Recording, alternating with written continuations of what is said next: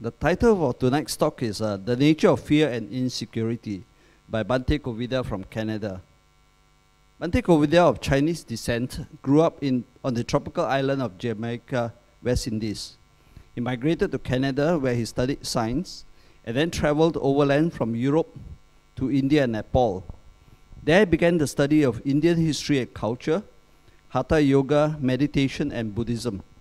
Bhante Kovida took ordination with Venerable Balangoda Ananda Maitreya, a noted scholar, teacher, and meditation practitioner. Since then, Bhante has been traveling and teaching the Dhamma in Malaysia, Singapore, Thailand, Hong Kong, Taiwan, Europe, UK, US, and across Canada. He also teaches mindfulness meditation and Qigong, which are beneficial for mental, emotional stress, anxiety, and depression. Bhante is giving a series of talks at Brickfields Temple, so you can check the schedule and uh, attend. And also he has a weekend one-day meditation retreats. I think there are four one-day retreats during his stay. So we pass on to Bhante Kovida. Thank you. Thank you.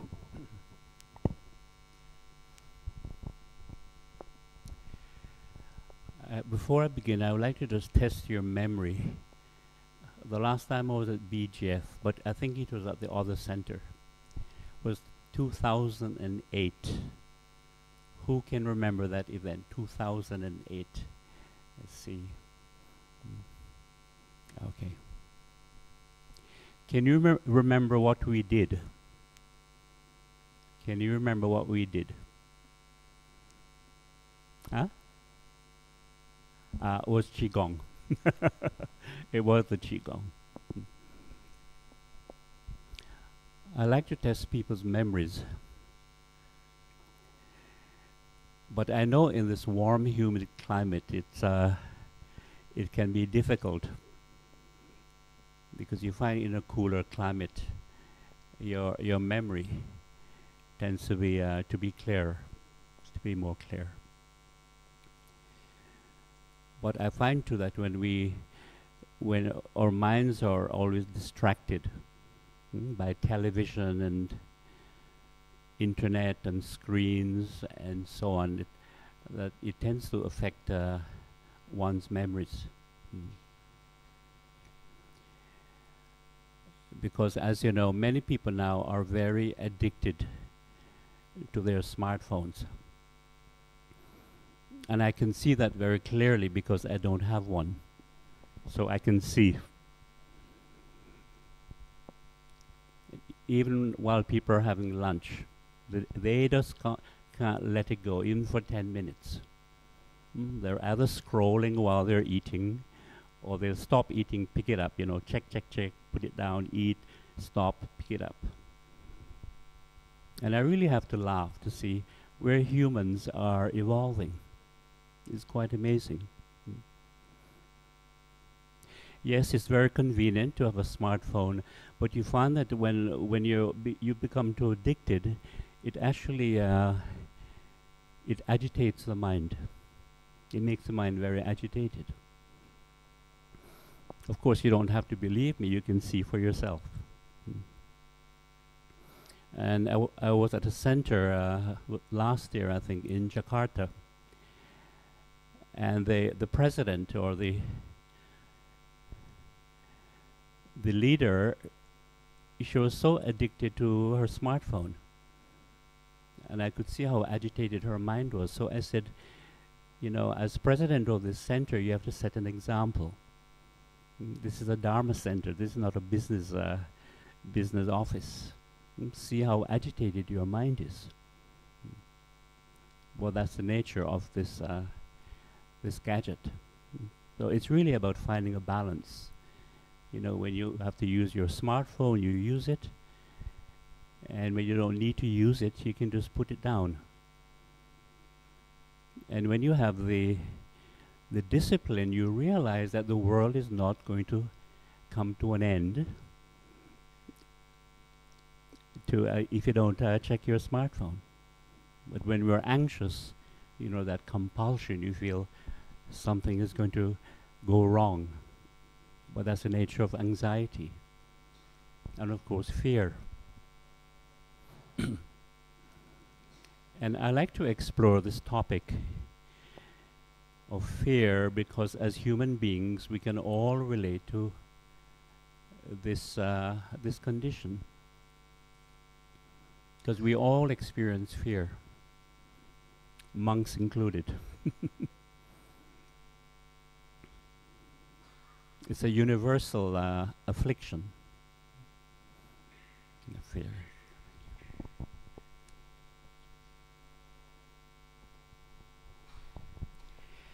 And also, I would like to uh, say that the speaker is not an authority. So we should be investi investigating together as Dharma friends, as Sangha, together. Because I'm not one of those people who like to pretend that I have the answer for everything. Because I don't. because I'm just a human being, and being human, I also have limitations. And, as and humans, as humans, we're not perfect, monks included. I say that because sometimes people think that monks should be perfect. So if they show any human qualities, you know, like even anger or irritation or some emotion, you know, they think, oh, this is bad. What kind of monk is this? They think monks should be like a, a Buddha statue, just sitting calm and smiling all the time. But this is, of course, wrong understanding. And one of the things I like to speak about is uh, guilt. Because uh, again, many people have problem with guilt. And as you may know, it's an aspect of fear. And in North America, where I'm based, a lot of people have this problem, and I'm sure it, it's here too, because it is a universal problem, the problem of guilt. And yes, it is natural to have regret when we make mistakes. You know, regret things we we said, things we did, and we regret. You know, I shouldn't have done that, or I shouldn't have said that, or I should have done this, or I should have said that. And sometimes we regret things we didn't do, and we didn't, you know, we should have said, or we should have done. That's natural. But if we keep feeling, uh, if we keep regretting and keep feeling guilty, then we end up torturing ourselves. We create a lot of dukkha, conflict. A lot of people have this. And it's because of the judgmental mind. Because as human beings, we are conditioned mm, to be judgmental, you know, criticizing, comparing, sometimes condemning, labeling, liking, not liking, wanting, not wanting, and of course to have aversion. Sometimes anger, hatred, jealousy, envy, and so on, resentment. And this is where mental defilements come from. That's our conditioned habit of always reacting. So our brains, our, our brains have been educated, programmed to be always doing this. And it seems like perfectly normal behavior. And that's why everyone has mental defilements. We can't escape it. We are all conditioned this way. You know, labeling, judging, criticizing, comparing, and so on. And even Siddhartha Gautama himself had these mental defilements because he's, he's human, he was human. But, you know, with great effort, he was able to uh, purify his mind.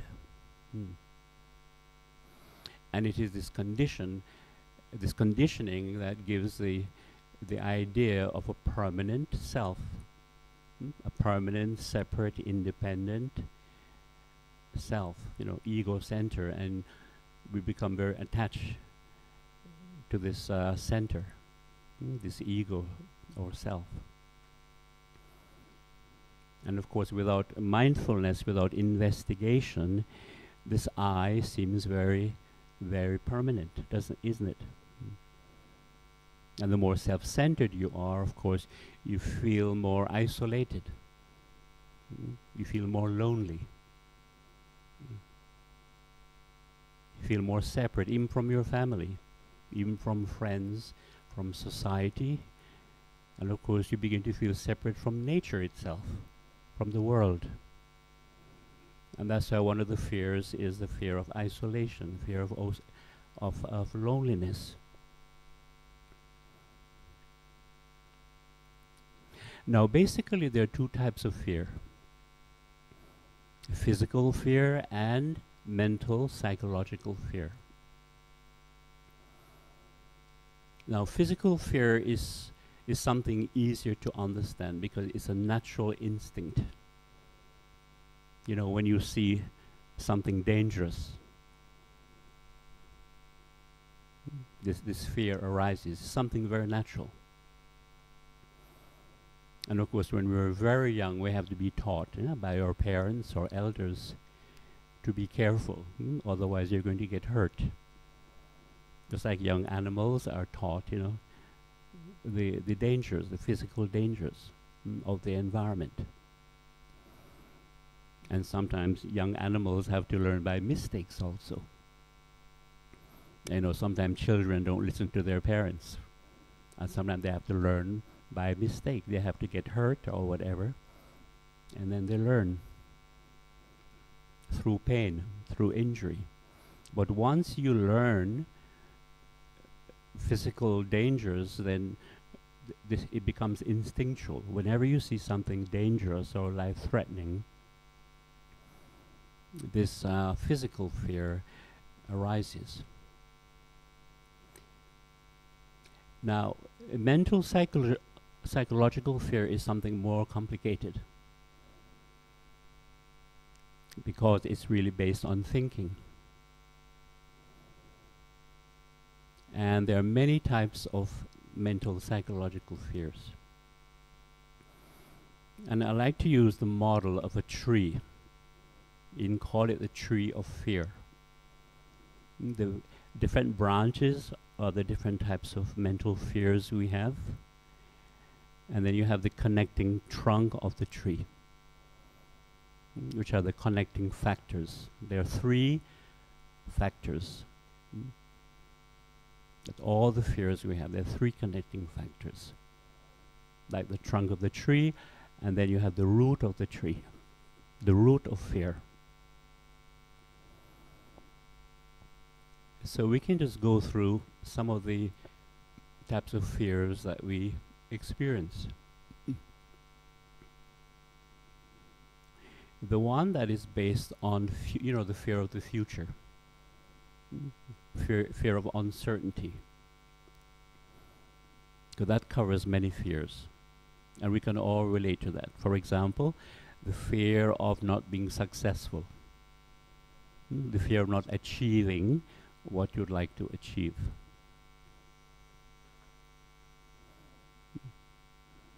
The fear of um,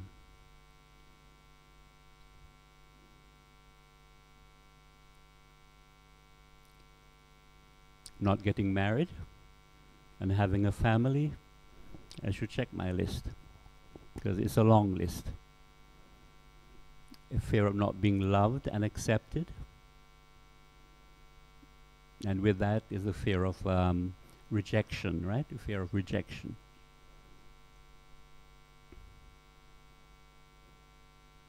Yeah, the fear of not living up to family expectations. Mm. Especially if you get a lot of pressure from, uh, say, your parents. Mm. That adds to the anxiety, doesn't it? Mm. Mm, Fear of not having a, a, a good job.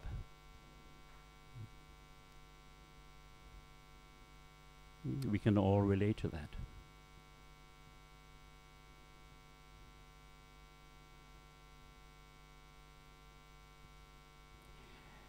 Then there's a fear of change. Mm, the One of the fears we have, the fear of change. Mm. Fear of loss, right? Whether it's uh, family members, close friends, the fear of losing a job, mm, because a job gives you a sense of security, right? The fear of losing certain material things that you're attached to. We can relate to that. Then there's a fear of authority. And of course, this fear we can all relate to in Chinese culture, the fear of ghosts and spirits. And one of the meditations that I try to get people to do is to do the the cemetery meditation. Mm, To use mindfulness to overcome the fear of ghosts and spirits. Mm. I haven't been too successful in Malaysia, but in Singapore was much better. but uh, hopefully I'll tell you more about that. And what is interesting is that the fear of ghosts and spirits and the fear of authority, there's some connection. There's some connection. But I won't ask you to find it. but once I once I explain it, then it's obvious. Of course, there is a fear of um, of sickness, aging, and death. Mm. The fear of the unknown, because you know death is the great unknown, isn't it? Mm, Fear of death and the unknown. And I find this subject very fascinating because I've been questioning, investigating, you know, since uh, a, teenager. Fear of death and the unknown. And out of that fear, human beings have created so many beliefs in an afterlife. Because it's a great unknown. So we want to believe that we somehow will continue. You could write a PhD thesis on this. How many different beliefs that humans have created through the many, many centuries? So many different beliefs in an afterlife. And reincarnation and rebirth is just one belief. Believe me, there are many beliefs. But when you investigate, you begin to understand. And it is a fascinating subject. I'm not sure if I'll have time because I could actually speak on that one subject just for a whole evening. Mm, Fear of the unknown and why we want to believe in an afterlife. Fascinating.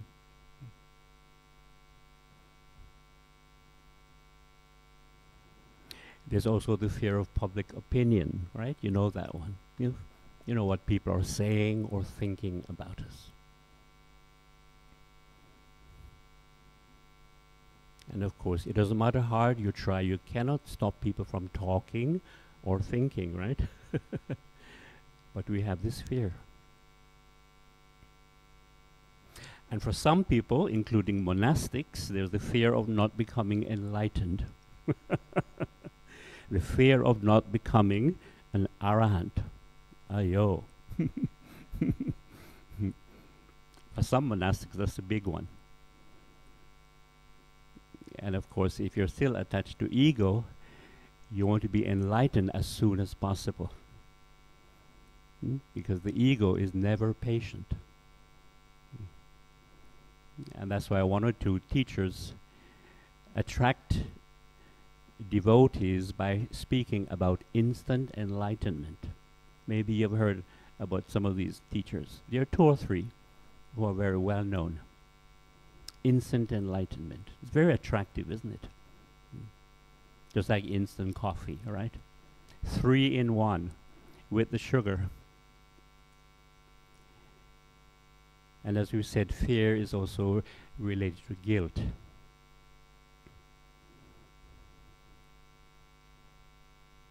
I speak more about guilt. There's also the fear of physical or emotional pain. Hmm? Fear of physical or emotional pain, fear of loneliness and isolation, fear of not having a life partner or close friends. Of course, fear of the future and uncertainty, Yeah, fear of rejection, we mentioned. And one of the fears we have is being anxious about the way we look. You know, anxious, worried about our, you know, our image when we look in the mirror.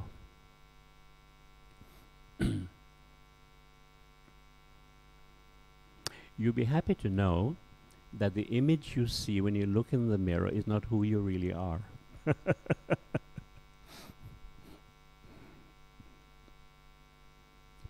and I'm sure you've had this experience where one day you look in the mirror and you said, Yeah, today I'm okay. I'm not too bad. You know, I'll never be a beauty, I'll never win a, a beauty you know, competition or I'll never be a fashion model, but I'm okay. But then two days later, you look in the mirror and say, Ayo, what happened? I look awful. I need, you know, more makeup or a different type of makeup or I need cosmetic surgery. I don't know about in Malaysia, but there are some cultures they're very uh, obsessed about, uh, you know, cosmetic surgery. And as soon as they can afford it, that's top priority. Mm. This obsession with body image. Mm. But it's a great uh, delusion when you when you when you understand it.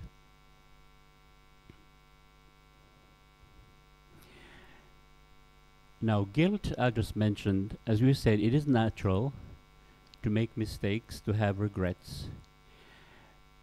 So it's important when we make mistakes, we have to forgive ourselves for being human because we're not perfect. Very important. But again, because of our human conditioning, the judgmental mind, we think we ought to be perfect. But it's just a concept, it's just an idea. Because as humans, we're not perfect. No one is perfect, and we all make mistakes. Even famous teachers.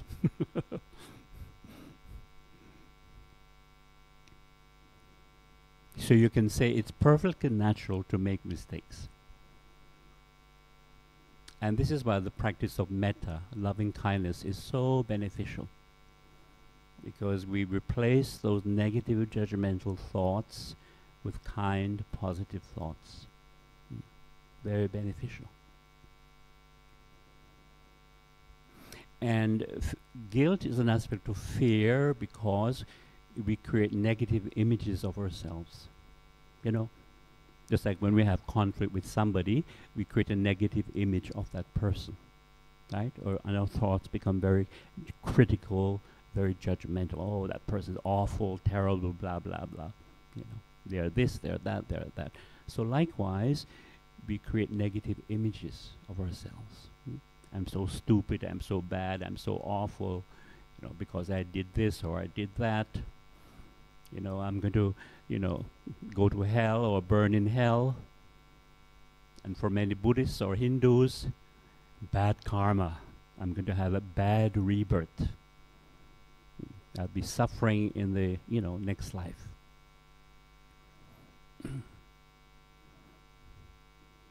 and that's, of course, anything negative towards others, towards ourselves, naturally create fear.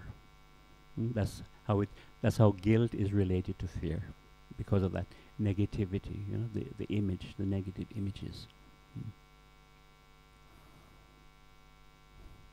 A lot of people have problem, this problem with guilt. And in Western society, because the attachment to self is so strong, they take everything so personally. In North America, this is a very big conditioning. Everything they take personally even things that are not directly related to them. Somehow they take it personally. It's really a crazy kind of uh, conditioning. But again, we're conditioned to be deluded, to be ignorant. Very strong. It takes a lot of effort, a lot of mindfulness, a lot of investigation. So basically, all these fears we mentioned about, you know, not being successful, not, you know, achieving this, and all that, not being married, having a family, you know, not pleasing our parents, you know, following their expectation. I think the, the two there are two basic reasons for for those types of fears. And it again, it has to do with family expectations, and also the habit of comparing yourself. Because again, it's a part of our conditioning, right? When we compare ourselves with others. And it's a very unhealthy, very destructive uh, conditioning that we have. And we don't realize it until we go through this the suffering that comes with comparing yourself to another. And maybe you can remember when your parents compared you to your other siblings. And you can you remember how you felt? You felt so so awful. Mm. You'll never be as good as your you know brother or your older sister. Mm, You feel so you worthless, inferior. It gives you a sense of inferiority complex. And that of course breeds fear, anxiety or your parents compare you to your cousins. Can you remember that? Or even to your neighbor's children. and they don't know how destructive it is because it's a part of their conditioning. And parents, because of their own delusions and anxiety, put all this anxiety on you. I can see it in Singapore. So when I'm in Singapore, I'm very outspoken about this. Mm, all these deluded parents. And they put so much pressure on their children. And they don't realize how destructive it is. And from their point of view, they think they're doing the right thing. Mm. But they are not. And this is why there's a very old, wise saying. Maybe the the older members here might remember that saying it goes the road to hell is often paved with good intentions Do you know that saying yeah Hmm, the road to hell you know the road to suffering is often paved with good intentions. It's a very good saying. Because very often especially parents sometimes even your good friends too because of their own anxiety, their own delusions, you know, they end up creating a lot of suffering for other people. But yet, from their own standpoint, they think they're doing the right thing, but they're not, because the wisdom is not there. Just fear, anxiety. And in a place like Singapore, it's only when the children have a nervous breakdown and they end up in the hospital, only then these crazy parents realize there's something wrong. And when children jump from high rises, it's too late. But at least if you know if they end up in the hospital, there's a chance for them to recover and for the parents to learn from their mistakes. Yes, the road to hell is often paved with good intentions. Mm. Yeah, so fear, anxiety, insecurity, guilt, uh, all these these uh, mental states are connected, part of dukkha, part of delusion.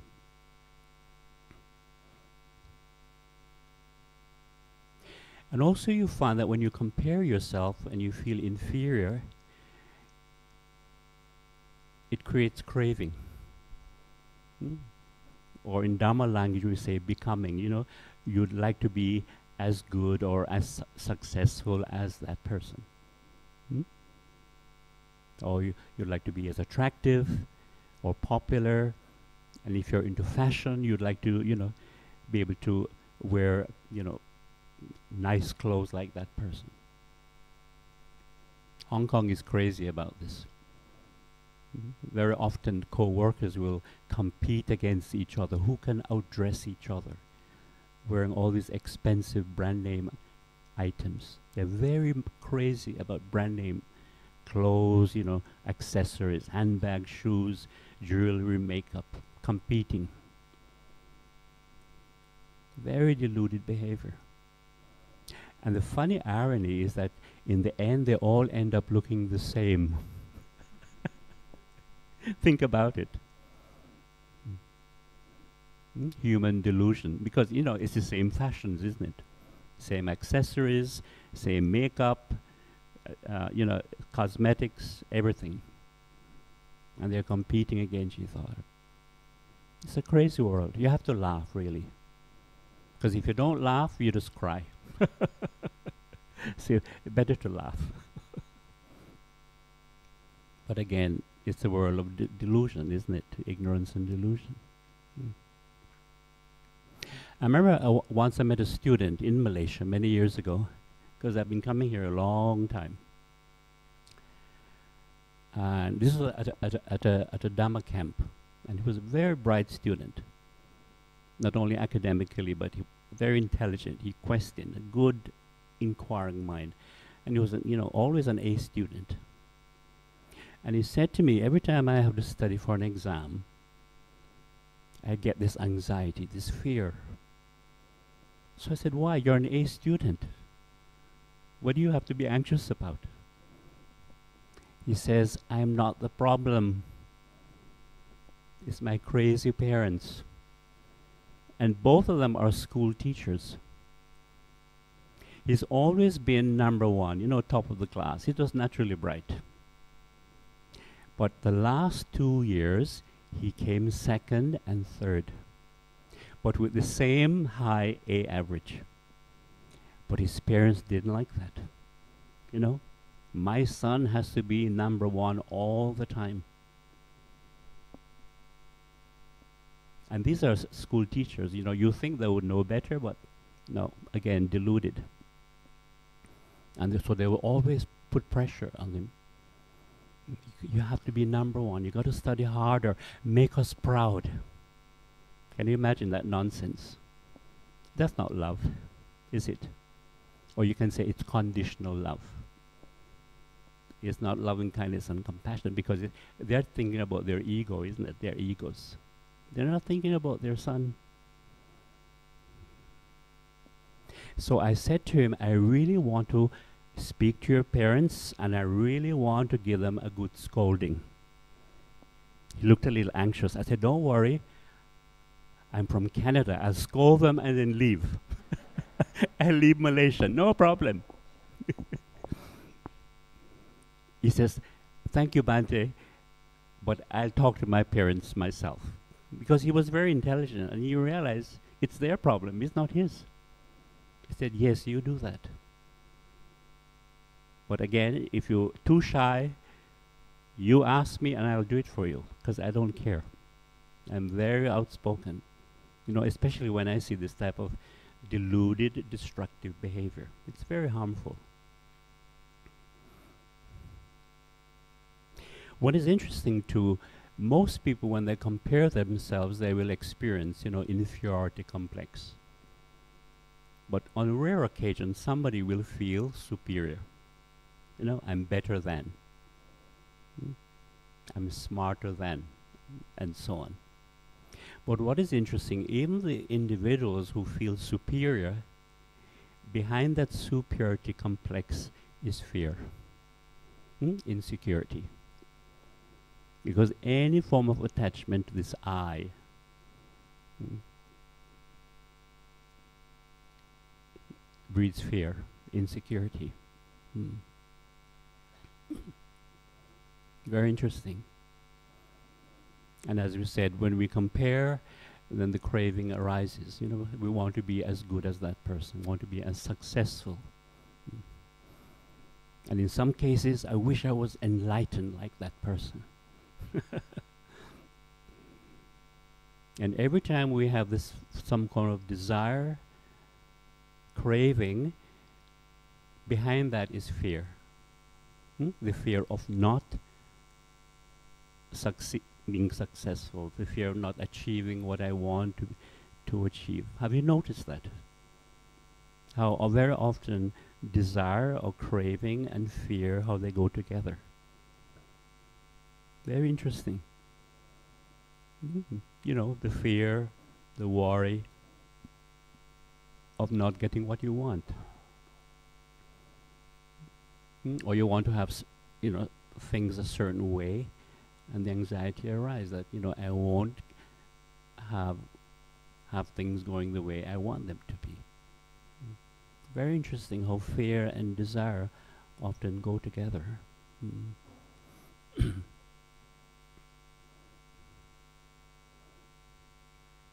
now, the fear of change comes from not really understanding that we are alive, we exist because of change, because of impermanence. Because for many people, when they first hear the teaching of impermanence, that things are always changing, initially some people find this very uncomfortable.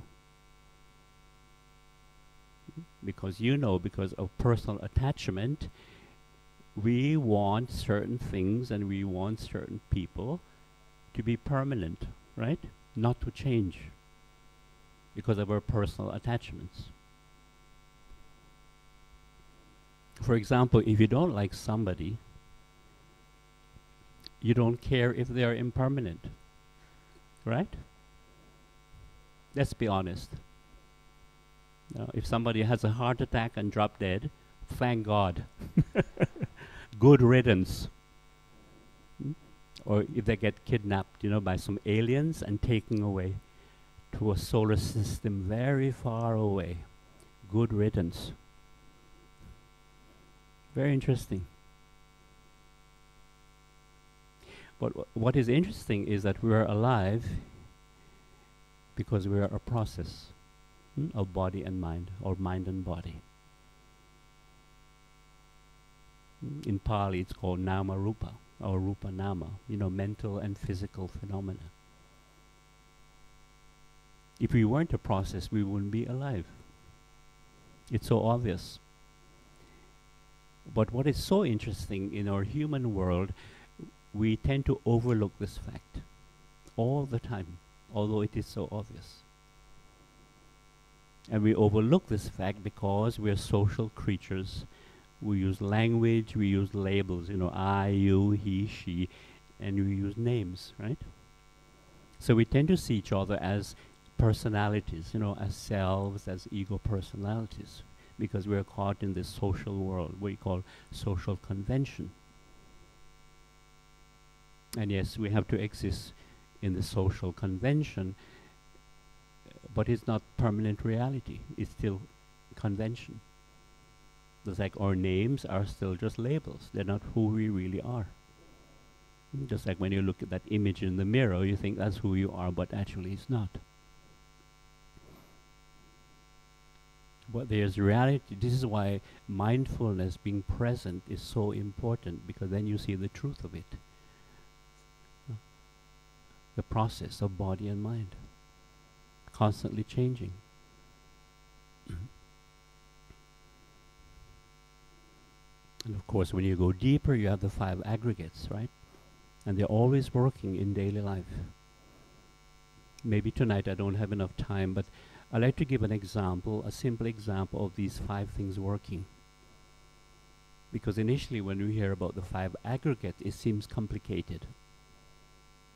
You know, physical form, feeling, sensation, perception, mental formation, mental reaction, and consciousness. Sounds a bit complicated. How is that related to our daily experience?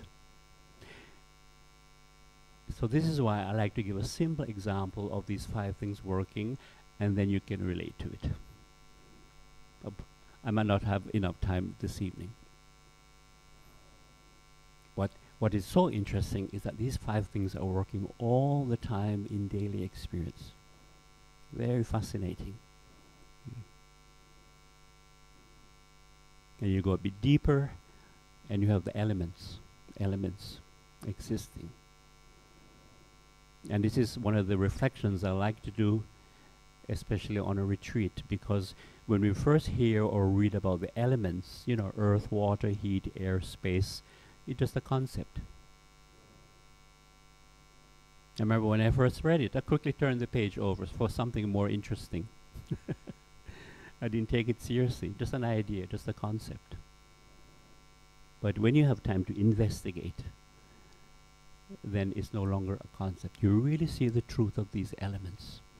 Hmm? How we exist because of earth, water, heat, air, space, consciousness. You really see the truth of it. It's amazing. And you get to a, to a stage where you realize that we're just collection of elements pretending to be people. That's right. and this collection of, of, elements sitting here is just pretending to be Bhante Kovida from Canada. And your collection of elements is pretending who you think you are. but in the end, it's just elements. And if you really want to know what continues after death, which is the uh, million dollar question, or million dollar ringgit question, is the elements. They go back to nature. Mm. Fascinating, fascinating. Mm. But I'll save that for a, a rainy day. but again, when we understand the truth of change, how we exist because of this constant process of body and mind and the elements, and then we won't be afraid of change. And we understand that we have the fear because of our own personal clinging, right? That anything we're attached to, including people, material things, certain situation, because of our own personal clinging, we don't want those things to change. And that's why we hold on because you think I am permanent. So anything I like or anything I'm attached to, we want those things to be permanent. So again, it's a delusion that we suffer from. Mm. Just like the fear of loneliness and isolation. Mm. It comes from, of course, having a very restless, agitated mind. Because you find that when you're very calm, very peaceful in your practice, you don't have that fear, right? You don't have that fear of loneliness and isolation. You feel very peaceful, very comfortable, just being alone. Because the truth is, we are alone, whether we like it or not. It's a basic fact of life. We call it aloneness. Hmm? You come to the, the, the understanding of this natural aloneness which is different from loneliness. As they say, we are born alone and we die alone. It's just a fact of life. And as you know, when you're hungry, no one can eat for you. Hmm? Not even your best friend. right?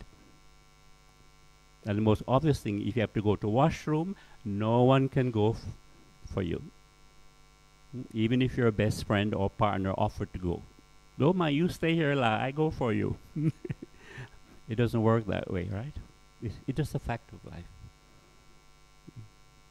Yeah, the natural aloneness. And when we understand that, we can be at peace. We we don't depend so much on uh, on others. Mm. But that dependency again comes from just that restlessness, right? The agitation. And you find that when we are more calm, more peaceful, naturally we have less reactions, less craving, less anxiety. This is why this very wise teacher, I think it was Ajahn Chah, he said a very wonderful thing. He said, you know, the world is in a very feverish state, you know, agitated, restless. The mind is changing from liking to disliking, from craving to aversion, from anxiety to frustration, with the feverishness, agitation of the world. If we can learn to make the mind still, it will be the greatest blessing to the world. Wonderful, very wonderful. Because the world is not out there, the world is here. It begins here. Mm the world of mind and body, the world of consciousness, seeing, hearing, smelling, tasting, touching, thinking. This is the world. It begins here. It's not out there. Mm. It's a very profound teaching. But when we practice, we begin to see the truth of that. Otherwise, we think, okay, I am here, but the world is out there. But the real world is here. It all starts here. Mm.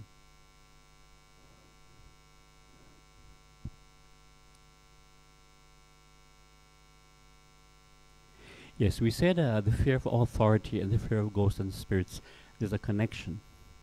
The connection is they're from childhood, childhood conditioning. And the fear of authority usually starts in the home environment. You know, you either have one parent who's really strict or sometimes both parents. That's where it starts. Hmm? Mm, the fear of authority. And especially, as I said, if your parents are strict and maybe they give you a beating sometimes. or, of course, lots of scolding. And you carry that fear into, into the school environment, right? Fear of the teacher. And especially the principal, right? The headmaster. In my school, all teachers were allowed to beat, beat the students. But in, in, in high school, only the headmaster, the principal, was allowed to beat or cane, you cane or beat you. Mm. I don't know about in Malaysia. Mm. But you have that fear, that authority. And in the work environment, you have fear of the, of the boss, right, the supervisor. And sometimes the there's a fear of the head monk also in a temple. especially if he's you know if, if he's really stern right? More serious very stern. Ayo you know chief reverend stay away from him. He's going to scold you. Mm, that fear of authority. So it starts in childhood. Likewise the fear of ghosts and spirits right it's, it's an early uh, conditioning in your mind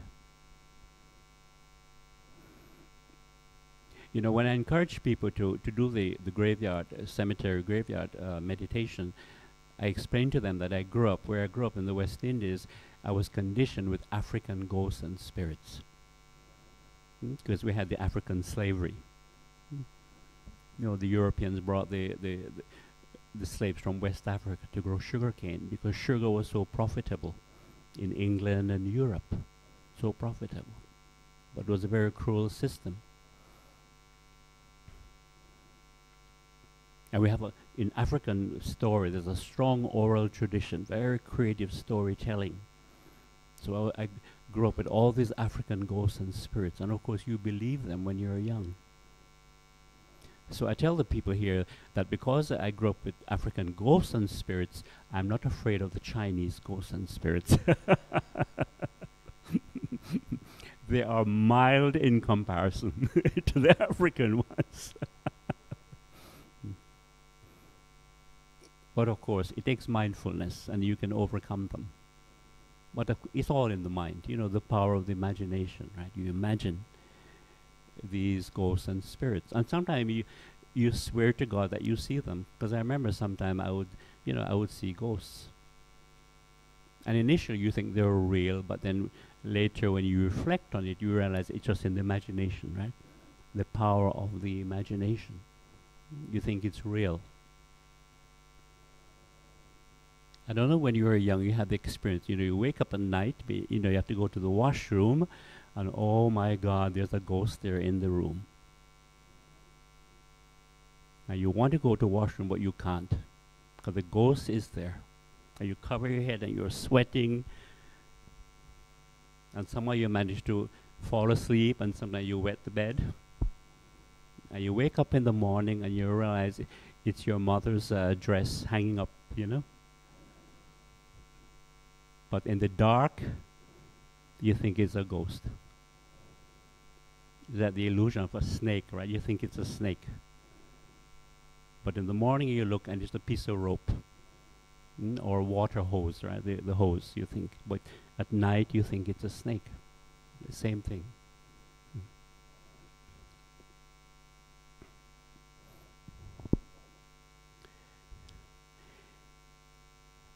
fear of physical or emotional pain.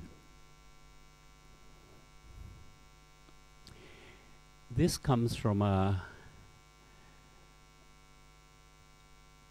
from memory. You know, you've had, say, you've experienced physical pain or emotional pain, and when you remember it, that physical or emotional pain, naturally, you don't want to repeat that experience because it's painful. Hence the fear of this pain, whether it's physical or it's emotional. Whereas if you've had a very pleasurable experience, the opposite happens. You can't hold on to the experience, but the mind holds on to it as memory. Hmm? Right? You remember hmm? that pleasure, that wonderful experience you have. And naturally, when you remember that pleasant experience, that enjoyment, you want to repeat it. Hmm? This is one, an aspect of craving. Anything that feels good, anything that's pleasant, we naturally want to repeat it. It's a very common thing in, hum- in the human condition. Whereas if you remember something painful or unpleasant, of course we don't want to repeat it, right? Mm. It's natural. Hence that fear. Mm. Fear of anything painful, anything unpleasant. Mm.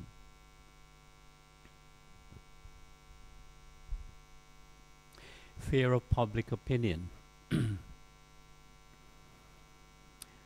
that comes from, of course, insecurity, not really understanding ourselves, not being confident. And as we said, the more we compare ourselves, we become more insecure, you know, more inferior. And of course, you create a negative image of yourself. You know, I'm not as good, you know, as so and so. And you, you know, you have this negative image of yourself mm, as somehow not as good, mm, not as successful, not as smart, and so on. So you have this image, and somehow you want to protect that image, even if it's negative.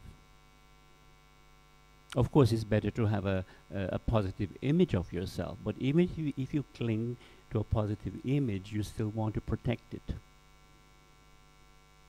So you're very concerned about what people are saying about you because you're clinging to this image. Of course, if it's pleasant, of course you're happy. You you know you want to hear good things all the time. But if it's negative or it's critical, of course there is fear. Right? We all experience this.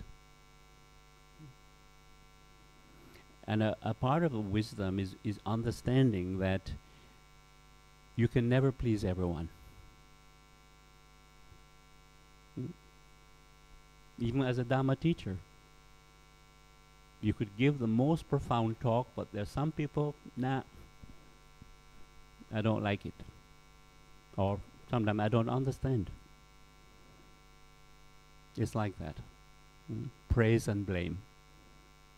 You can't please everyone. You could be the nicest person on this planet, but you'll always find one or two people who are just not impressed with you. Because that's the world. That's the nature of the world. You know, praise and blame. Mm. And when we understand that, you can be, how do you say, you, you understand that. Yeah. And you, you, you're not so concerned about image, because it's all relative. Yes, if somebody says nice things to you, you can say thank you, but don't be attached to it. Yeah, thank you. And if somebody says something negative or you or criticizes you, you can even say thank you. And if you can't say thank you, at least smile. just smile. And if you're really wise, just say, yeah, you're right.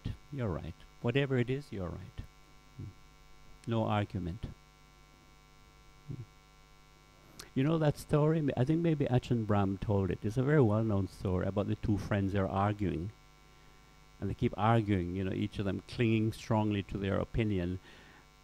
and they're not getting anywhere. So they said, We're wasting time. Let's stop. I will go to see the, the wise man in the village. You know that story? I think some of you know. So one of the friends had to do something, so the other friend went by himself to meet the wise man. And he told the wise man the nature of the argument and his point of view. And anxiously he says, Well, so who's right, me or my friend? And the wise man says, Of course, you're right. So happy. he goes running off to find his friend, to tell him what the wise man has said. Excuse me.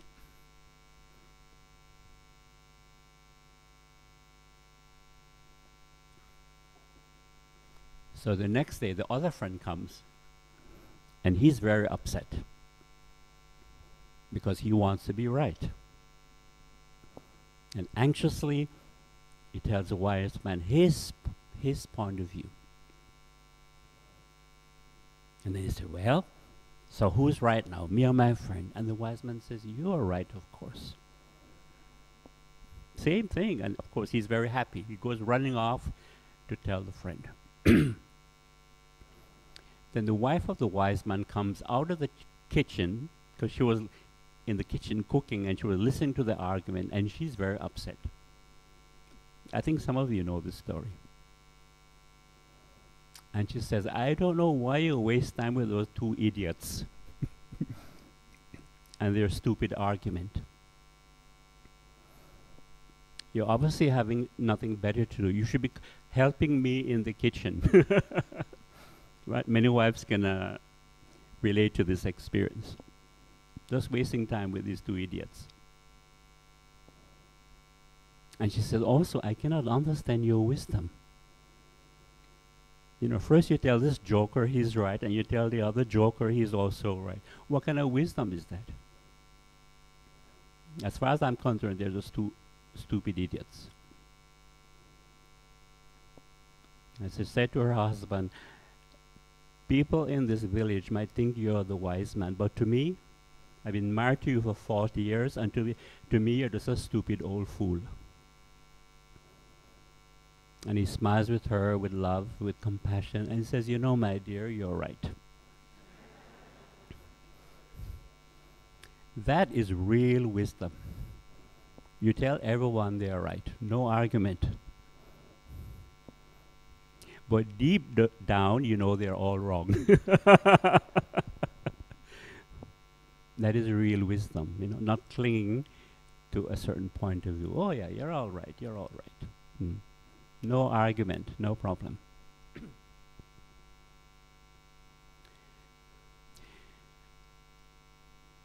so the question is is it possible not to have an image of yourself?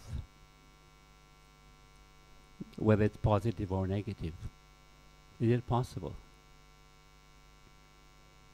You know, that I am this or I am that. Is it possible? And I would say it is possible from my own experience. It means not to cling to what the mind is creating know, about who you are or who you think you are, and just rest in that present moment awareness, that knowing.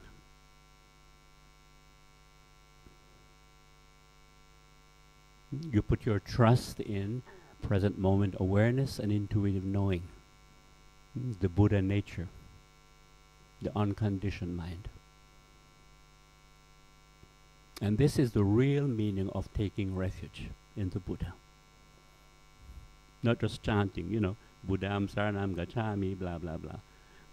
That's just tradition, ceremony. But the real refuge is this when you understand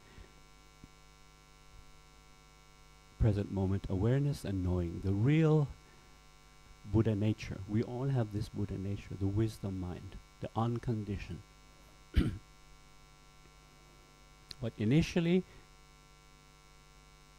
it's difficult for us to do that because we're so attached, we identify so strongly with the thinking process. And the I and the images that the mind creates. and all our mental formations. You know, our views and opinions, our ideas, our beliefs, or concepts, or likes and dislikes. We're so attached to them because we identify so strongly with them.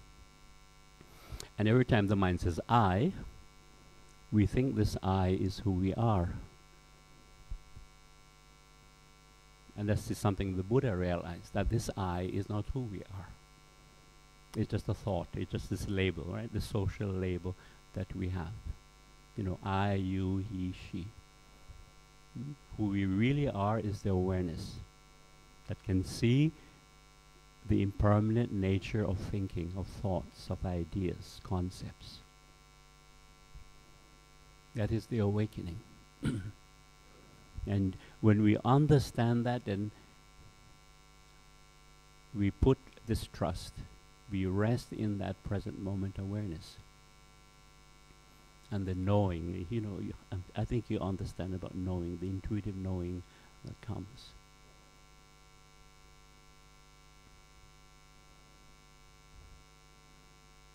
And when we have this, then we're free of this image that, you know, that we're so attached to, mm, whether it's negative or or uh, or positive. Because we're always trying to protect this image, right? At all cost, we protect it. And of course, with that comes fear, anxiety, and so on. We want praise, we're afraid of blame. We want happiness, we're afraid of unhappiness. We want pleasure, we're afraid of pain. we want gain, always gaining, having more and more, and at the same time, we're afraid of loss. And for some people, they want fame, and at the same time, they're afraid of, you know, the opposite, ill fame. And I've come to understand that fame and ill fame, there's a very thin line between those two things. Very thin line. One moment you can be very famous, and just the next moment you can be subject to ill fame. And a good example of this was Michael Jackson. You know Michael Jackson. Yeah, he was somebody who experienced you know great fame, incredible, enormous fame, but towards the end of his life, he experienced the opposite, hmm? ill fame. All impermanent, all impermanent. So there's great freedom in not having an image of yourself. Great freedom in that. So we're then we're not affected by public opinion by what people say. Mm.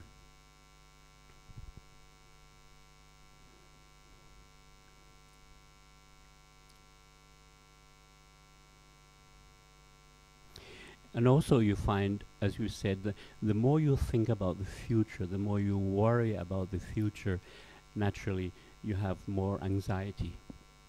More anxiety. Because we can all relate to that. And you, you can remember when you're a student, whether it's in high school or university level, you have this anxiety. I suffered a great deal from it. And you feel that tension all the time, you know, the fear of not, you know, graduating, not passing your exams, and after that you project and you think, oh my God, you know, will I get, you know, a good job? and later on, you know, once I'm working, you know, will I able to get married? You know, you know, will I find the right partner, and all this stuff, and family. If you're into family, you know, am I going to have a family? All this anxiety. I'm just feeling that anxiety all the time. And I realized this is not a way to live. And once I looked at my mind and I thought, is it possible for all this anxious thinking, all this craziness to stop? All this mental, emotional turmoil to come to an end? I remember asking that, but no one could give me an answer. And I didn't have any Dharma books around, no yoga, meditation, Qigong, nothing. and my only escape was drinking. Because, you know, in uni you're allowed to drink, at least in Canada.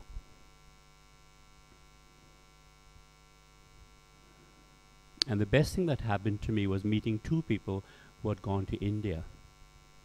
Because in those early days, 60s, 70s, 80s, you could go through uh, Europe, then Turkey, Iran, Afghanistan, Pakistan, into India. It was very stable, all these countries.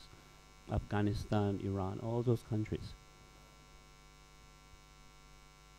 And that inspired me, and I was able to do this. The they call it the overland journey. In the, in the winter of uh, 74, 75. That's the best thing I ever did. And I had such profound experiences, and I discovered it was possible for the mind to be silent. But initially, you can't imagine, right? The mind. How can the mind be silent? How can thinking stop? But as you know, you can't force the mind to stop thinking. And believe me, many people have tried. Even the early forest yogis. You know, they would sit and they try to stop thinking. And I think this is how migraine headaches began. yeah. Because what they didn't realize was that the thinker, the I, that is trying to stop thinking is also a part of thinking. Mm. So it's like thinking trying to stop thinking, or thinking trying to control thinking. You can't. Mm. You only get tension and headaches and all that stuff. Mm. You allow it with patience right effort to come to an end and you experience a total silence. Because initially you think, oh, if thinking stops, I'm going to die. Right? I'm going to lose consciousness and that's the end of me. but when you experience it's it just it's the most wonderful thing to have this experience, this awakening. And when the mind becomes silent, especially if you're in a very beautiful environment, suddenly your mind opens up to vast space. Mm, you, your mind becomes very spacious. Because awareness by nature is spacious. Mm, for example, it's because of awareness we're aware of the space in this room. But if we're always thinking and identifying with thoughts, ideas, concepts, and the I, there's no space. Mm.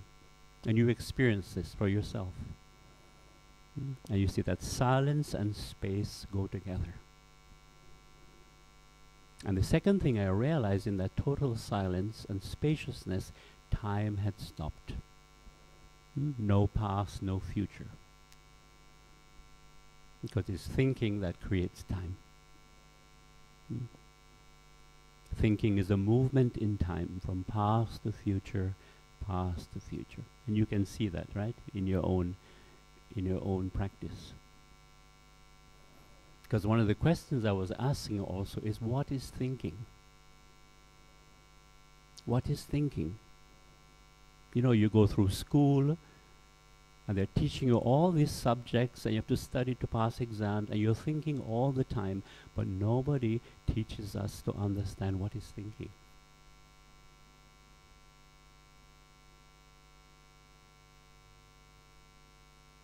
Only i got to india and this profound teacher pointed it out to me. It was such an amazing insight and it's so simple, that is the thing. It's not rocket science. It's not complicated. Thinking is a response, is related to three things in the mind. Memory, that's obvious, isn't it? Past experience, of course. And knowledge, information. You can see that. Thinking, that's where thinking is coming from. And as you know, it has the ability to project in the future. All our minds do this. And it doesn't matter what language you're thinking in, it's the same thought process. whether it's Cantonese, Hokkien, Japanese, Russian, French, Spanish, the same thought process. Moving in time. Hmm? It's a movement in time. And in your own practice, when you experience the silence, the stillness, there's no time. You're actually in touch with the timeless dimension of the universe. Because the universe is timeless. But humans are caught in time because of thinking and our conditioning. And we have now created schedule, and we have created, you know, the calendar, months, weeks, and now we have digital time. Of course, in daily life, we have to use time, we have to use schedule, we can't escape it mm, if you're in the working world. But it's very healthy, very beneficial when we can at least half an hour each day just to quiet the mind and just to experience again the timeless silence. Because that is the taste of Nibbana, when you experience this, that silence, that stillness, timelessness. Because time is also a factor of fear, right, of anxiety and stress also. Stress is always related to time. Right? There's so much to do and so little time.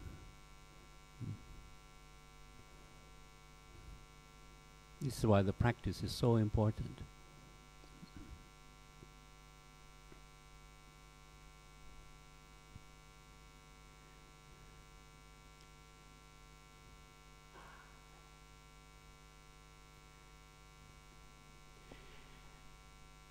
Now, what are the factors of fear? There are three. We've been speaking about the different types of fears we have. What are the connecting factors? Now, if it is mental psychological fear, what is the most obvious factor? Hmm? Mental psychological, what is the main factor? What is the most obvious factor? If it's mental psychological. Can you say? It's what? Did you say thought? Yes, that's right. Thinking. It's so obvious, isn't it? Thinking is the main factor. If it's mental, it must be thinking. You know, worrying, anxiety, projecting, craving, all this stuff. Worry. It is thinking. Thinking is the, is the main culprit, as you want to use that word, is the main factor of fear. And the other two factors, because it's thinking, time is a factor, as we said, you know, past and future. Time, that's very obvious. When we project in the future, you know, ayo, what's going to happen? Will I achieve? Will I do this? Blah, blah, blah, blah, blah, blah. Mm. And you, you, you, you remember past things you've done, and you have the regret and then the guilt and all that stuff. So you see how time is related. Because thinking is related to time.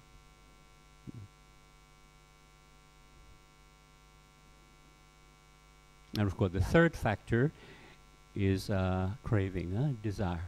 Craving, desire, wanting. Because with that comes the fear of not getting what you want, mm? not achieving what you'd like to achieve. Can you see that? Mm, that's right. Thinking, time, and craving, desire. And that includes expectation. Hmm? Expectation. That's a form of craving, isn't it?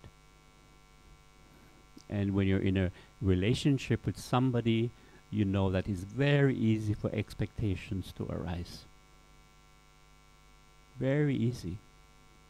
But initially, we don't see it as craving you just think, think, you know, it's a part of just being in a relationship or being in love. Mm. So you expect all these things from that person and you depend on that person for your happiness. And that's why we have the fear of loss. That's where it comes from. because you're depending, you know, emotionally, you're depending on something or someone for your happiness, for your security. And that dependency naturally breeds fear. Mm? The fear that you're going to lose something or that person or whatever you're depending on. It can even be a reputation, right? You have a certain reputation or a certain status. Mm, So you fear of losing that reputation, that status, Mm, dependency. Now, there's a difference between emotional dependency and physical dependency. There's a difference. Now, as human beings, sometimes we have to depend on each other, right? We can help each other in so many ways. That's very natural. Just like the mailman, you have to depend on the mailman to deliver your letters, right? But there's no need to be attached to him. You know what I mean? Oh, mailman, please. Please stay or please come every day. I want to see you. no, you don't have to do that. So you see the difference. hmm? Yeah, it's the emotional attachment, that dependency that creates fear, huh? the fear of loss. And the fear of sickness, aging, and death comes from not understanding that this body is not really, you know, a personal thing. Mm. It doesn't belong to us. It's not me, it's not mine. It belongs to the changing conditions of nature. As what Ajahn Chah said, if you tell the body not to get to not to get sick, does it listen to us? No. If you tell the body not to get tired, not to get hungry, you know, not to go to washroom, the body does these things, whether we like it or not, because it follows its own natural law. It is non-self, anatta. Tell the body not to age, the body ages. If you tell the body not to die, the body will die. Of course, we have to take care of the body as best we can, but we can't get too attached to it. It's just like, say, if you're renting a house or renting an apartment, it doesn't belong to you, you know, legally, but you still have to take care of it, right? The apartment or your house. You keep it clean. If something is broken, you fix it. and even if the apartment or your house belongs to you officially, you know, legally, if you're able to pay off, you know, mortgage and all that stuff, eventually you still have to leave it, don't we? Mm. You know, whether it's a small apartment or a big mansion, the same thing. It's just a temporary shelter. Non self. And I don't know if, we have time to go into this very fascinating subject of the unknown, Hmm, the fear of the unknown, and why we want to believe in an afterlife. How are we doing for time? Speaking of time and, and fear, oh my God. How are we doing for time? Uh, okay.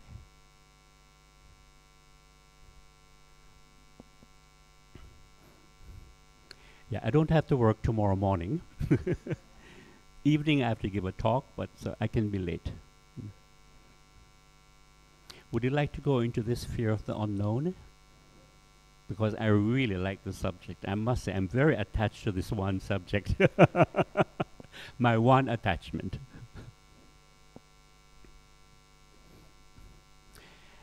now, most people, when they when they first see a dead body, they will say the same thing. And what is that? That person looks so peaceful, like they're sleeping. You know that saying? Most people will say that when they first see a dead body. Wow, so peaceful, like they're sleeping. Now, why do we say that? Because we can relate to somebody lying there as being asleep. We can all relate to that. But what most of us don't really understand is that, for example, is no longer a person. You know, a dead body is no longer a person, you know, person that you know. And also, most of us can't really relate that so called person that's lying there sleeping or seemingly, seemingly to sleep has absolutely no life. You know, dead, dead, dead. No energy, no thoughts, no feelings, no, you know, no memory, no I. Absolutely no life. Now, if, if you speak to people who are, who are dealing with dead bodies on a daily basis, you know, medical people, people who work, you know, funeral homes and all that stuff, they will tell you it's very normal. And they will tell you that because they're used to it. But most of us who are not used to it, there is the fear, isn't it?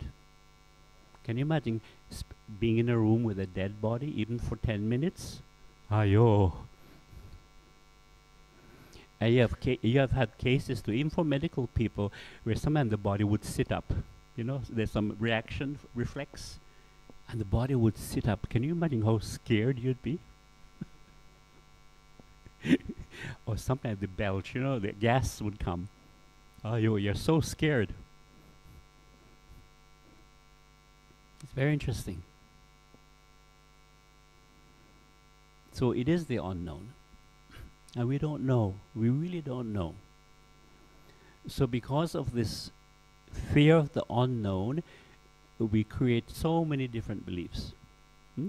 in an afterlife. You can understand it. now, there's a reason for this. And it has to do with our minds, our thinking mind. You see, thinking, as we said, is related to all that which we know. Hmm? Memory, past experience, knowledge, information. You see that? Or thinking is related to this, hmm? that which we know. So when it when it encounters death and the unknown, because we really don't know what happens after death, it cannot relate to the unknown. It's really amazing when you interesting when you think of it. I it's like a, a fish trying to relate to the experience of riding a bicycle. It cannot. You, you see that, right? A fish can't relate to riding a bicycle or driving a car or using internet. A fish cannot relate to those experiences. Likewise, or conditioning, uh, or thinking mind with memory, information, knowledge, it cannot relate to this great unknown. So naturally there's fear. Hmm? Fear of the unknown. And that's why humans for thousands and thousands of years have been asking the same question. It's called the age-old question. People have been, and people are still asking the same question today, and in future they'll be asking the same question. And what is that? What happens to me when I die, right? And where do I go after death? Very ancient question. And you, uh, you can understand. Because we're caught in thinking, and of course we're attached to this I. What happens, right? What happens to this I? Because the truth is, I want to continue, don't I? preferably with all our attachments, all the things we like. Right? We want it to continue somehow. It's very natural. It's a great mystery. Sometimes when people ask me this question, I say, um, wait and see. then you know for sure. Or sometimes I just joke and says, why are you asking me this? I'm still alive. you know, wait till I'm dead, then you can ask me. then I can give you an ex expert opinion. But I, it's jokingly. But you see, because of this great unknown, thinking cannot relate to it. So what thinking does, it's very clever. It projects itself beyond death. And it says, oh yeah, I will continue after that somehow. you know, in a belief. Whether it's reincarnation or, you know, I'm going to take rebirth. And if you're a Pure Land Buddhism, of course, I'll be reborn in the Pure Land. It's very comforting, isn't it? And if you're a Christian, I'm going to have eternal life after death, you know, with Jesus or with God. Very comforting. And the North American Indians would like to say, I'm going to go to the great hunting ground in the sky. Because for them, hunting the buffalo, you know, was one of their great activities. a concept of heaven. And say, if you love McDonald's, I'm going to go to the great McDonald's in the sky. Or KFC or Pizza Hut, whatever you like. I was speaking to a man who he really loves golf. You know, golf is a game. You either love it or you don't like it, right? It's like that. It's like durian. you love it with a passion or you hate it with a passion. It's like that. And his concept of heaven, of course, is this golf course. I'm going to be in this. Heaven is a golf course. And it's free membership. and I can play 24 7. And if you love internet, yeah, yeah. Heaven is I'm going to be in a place free high speed internet all day and night. Hmm, that's the human mind, isn't it? Projecting. Or some people say, you know, if you know, if I'm, I'm a successful writer, I have all these books, mm, I will live forever in my books. And I used to see some old Hollywood movie stars, the ones that I grew up with in the early days. And they say, I will live forever in my movies. Which is a very comforting thought, isn't it? Or I live forever, you know, in my TV shows. It's very comforting. And when it comes to the Chinese culture, the traditional Chinese man wants sons and grandsons and of course future, you know, great grandsons. Why is that? Because he believes that as long as the family name continues, I will continue. Do you see that? Yeah, it's a very old Chinese tradition.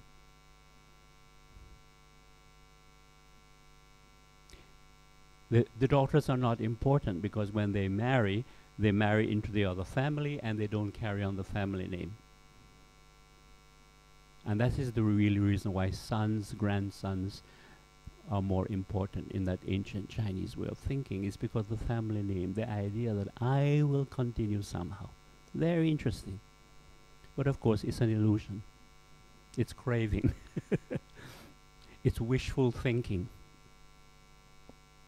Now, when you investigate all these beliefs hmm, that we have created, you see that really it is thinking itself, you know, this movement in time is afraid to come to an end. Do you see that? Hmm? Or everything that we know, including all our attachments, whether it's material, other people, etc., etc., it's afraid to come to an end. That is the essence of it. And so we create these beliefs. Now, what is really insightful and wonderful is that when we allow the mind to be silent in meditation, we begin to understand that silence is the unknown. Hmm? Thinking is, the is what we know, right? Memory, experience, knowledge, information. And the ending o- of this of thinking is the unknown. Do you see that? And when we understand this and we experience it, you know what happens? We experience the unknown in that silence of meditation because we understand it is the unknown, the ending of thought. And there is no longer fear of the unknown. because we experience it directly as something very peaceful and timeless. Hmm? There is no time. This is very profound, but it's a very wonderful insight to understand the stillness of the mind, that silence is the unknown. There's nothing to fear. It's a very peaceful state and timeless. And so that age old question hmm, what happens to me when I die? Where do I go after death? does not arise. I wonder if you see that. It does not need to arise. That's right. But as long as we are trapped in thinking, you know, and we are deluded by thinking and with this I, of course, we keep asking that question. Hmm? And we want to believe somehow in an afterlife. It's a very profound insight.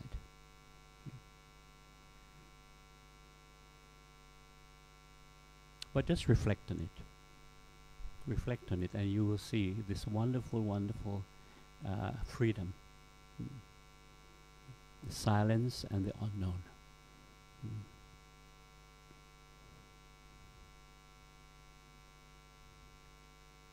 Also, what is interesting is that language is very misleading.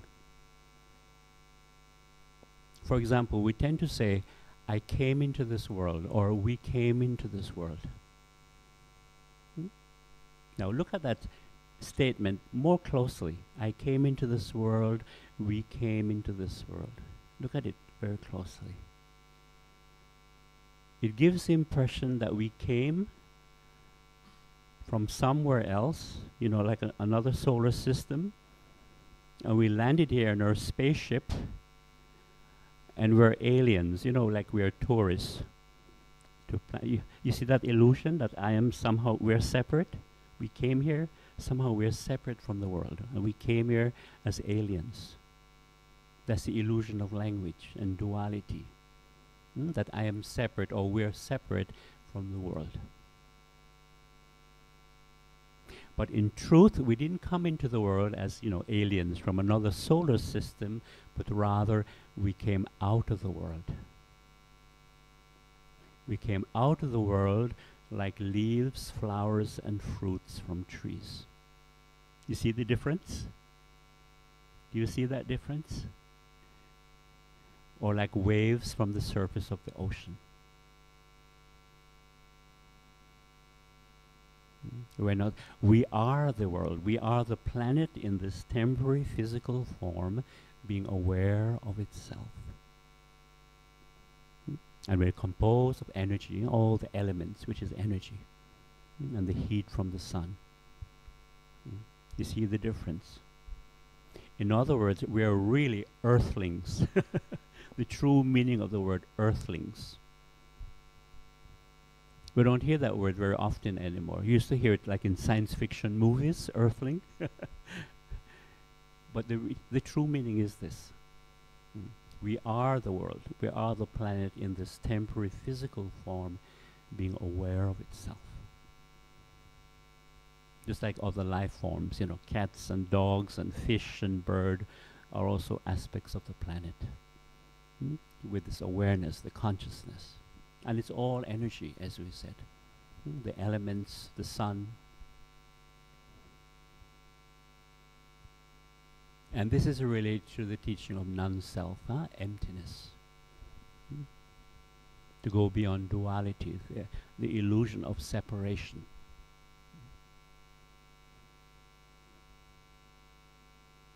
And the model of the ocean, the surface of the ocean is very beautiful. You know, waves arise, countless waves rise and fall, but the ocean remains the same. Waves are water, water is waves. Waves are not separate from the ocean. Likewise, we are not separate from the energy, the, the, the elements of the planet. Just like all the food we eat is an aspect of the planet mm, and the elements and the energy of the sun and rain and so on. It's a very beautiful reflection.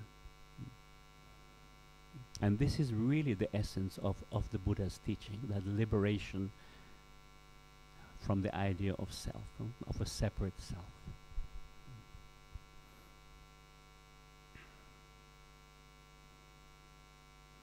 And on a more cosmic scale, we are the uni- universe. Mm, In this temporary physical form, being aware of itself. So, really, there's nowhere to go. there's really nowhere to go. Mm. Yeah, another time we'll go into the elements. It's, it's al- also very profound, the elements. Mm. Okay, at this point, any any questions? Any questions?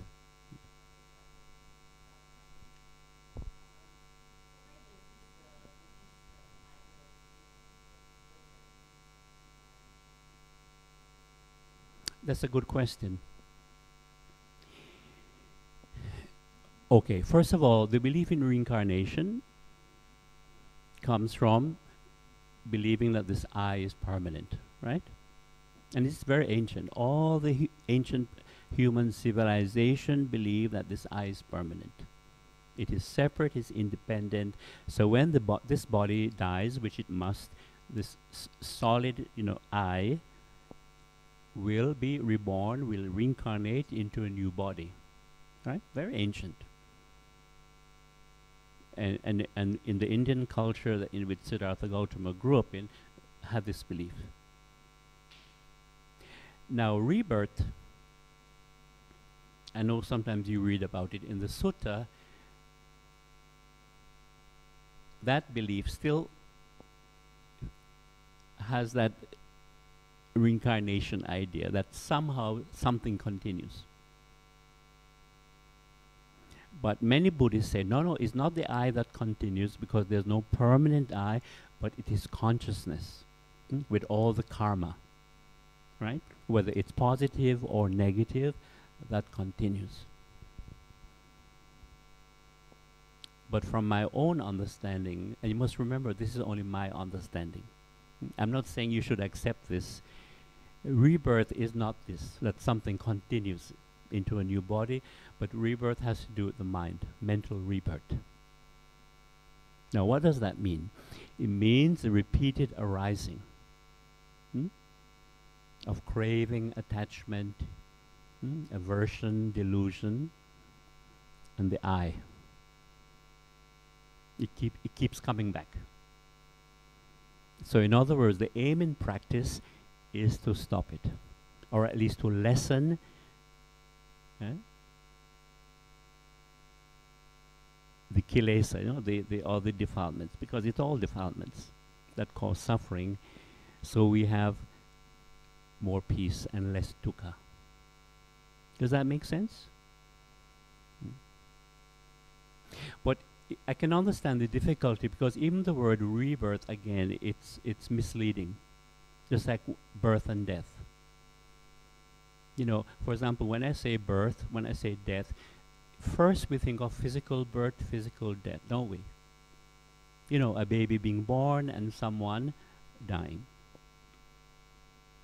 Yes, you have physical birth, physical death, but there's much more to birth and death.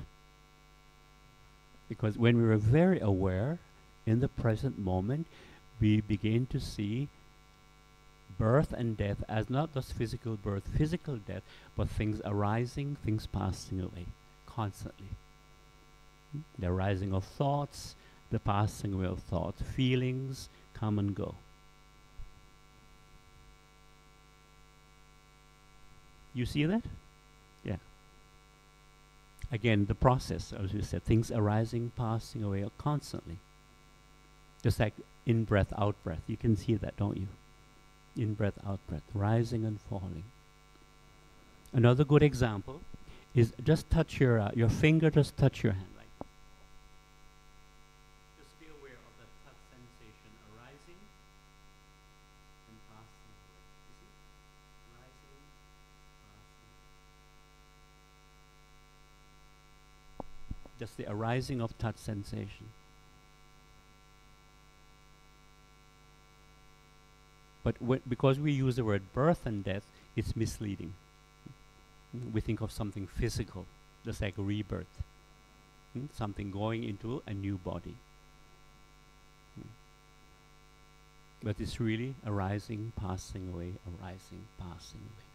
So, in other words, our existence, this process of body and mind, is a continuous arising and passing away. And of course, when, when we practice, we can see this, don't we? That's right. Mm. Things arising, things passing away. Mm. And of course, if you could see the details of all the cells in our body, it's constantly changing. Mm. But normally, you know, with the naked eye, we, we don't see these things because we're just so too busy running around. You know, once I took a course in biochemistry, and we were studying the digestion system, you know, when we eat food. Fortunately, when we eat, we don't have to worry about, you know, digestion, unless you're having digestion problem. But most of us, we don't think of it because the body has its own intelligence. But when you study that the, the direct uh, digestion process, my goodness, it's very, very complex. You know, all the different en- enzymes, these acids, it's so complex. But fortunately, most of us don't have to worry about it. You know, the intelligence of the body. It's amazing, this process. We just take it for granted, unless you're having digestion problem. yeah. And I knew a Canadian lady, she had digestion problem, uh, living in India, doing volunteer work, and she went to one of these natural cure places in India related to Mahatma Gandhi Foundation, and she went on this special fast just to give the body a complete rest. And can you imagine? She fasted for one month. And only thing she took every hour she had a, a, a teaspoon of water, just a teaspoon, because you know the body needs water, the cells, just to give the body a complete rest. And every day, you know, the, the, the doctors checked her heart, you know, high blood pressure, all this stuff. And she got, you know, uh, Ayurvedic herbal massage, she did yoga. And if you're ever fasted, the first two days are the most difficult because all you think about is food. but luckily, after two days, the hunger goes away and you feel so wonderful. You feel so light, so peaceful, and very calm. But you have to survive the first two days.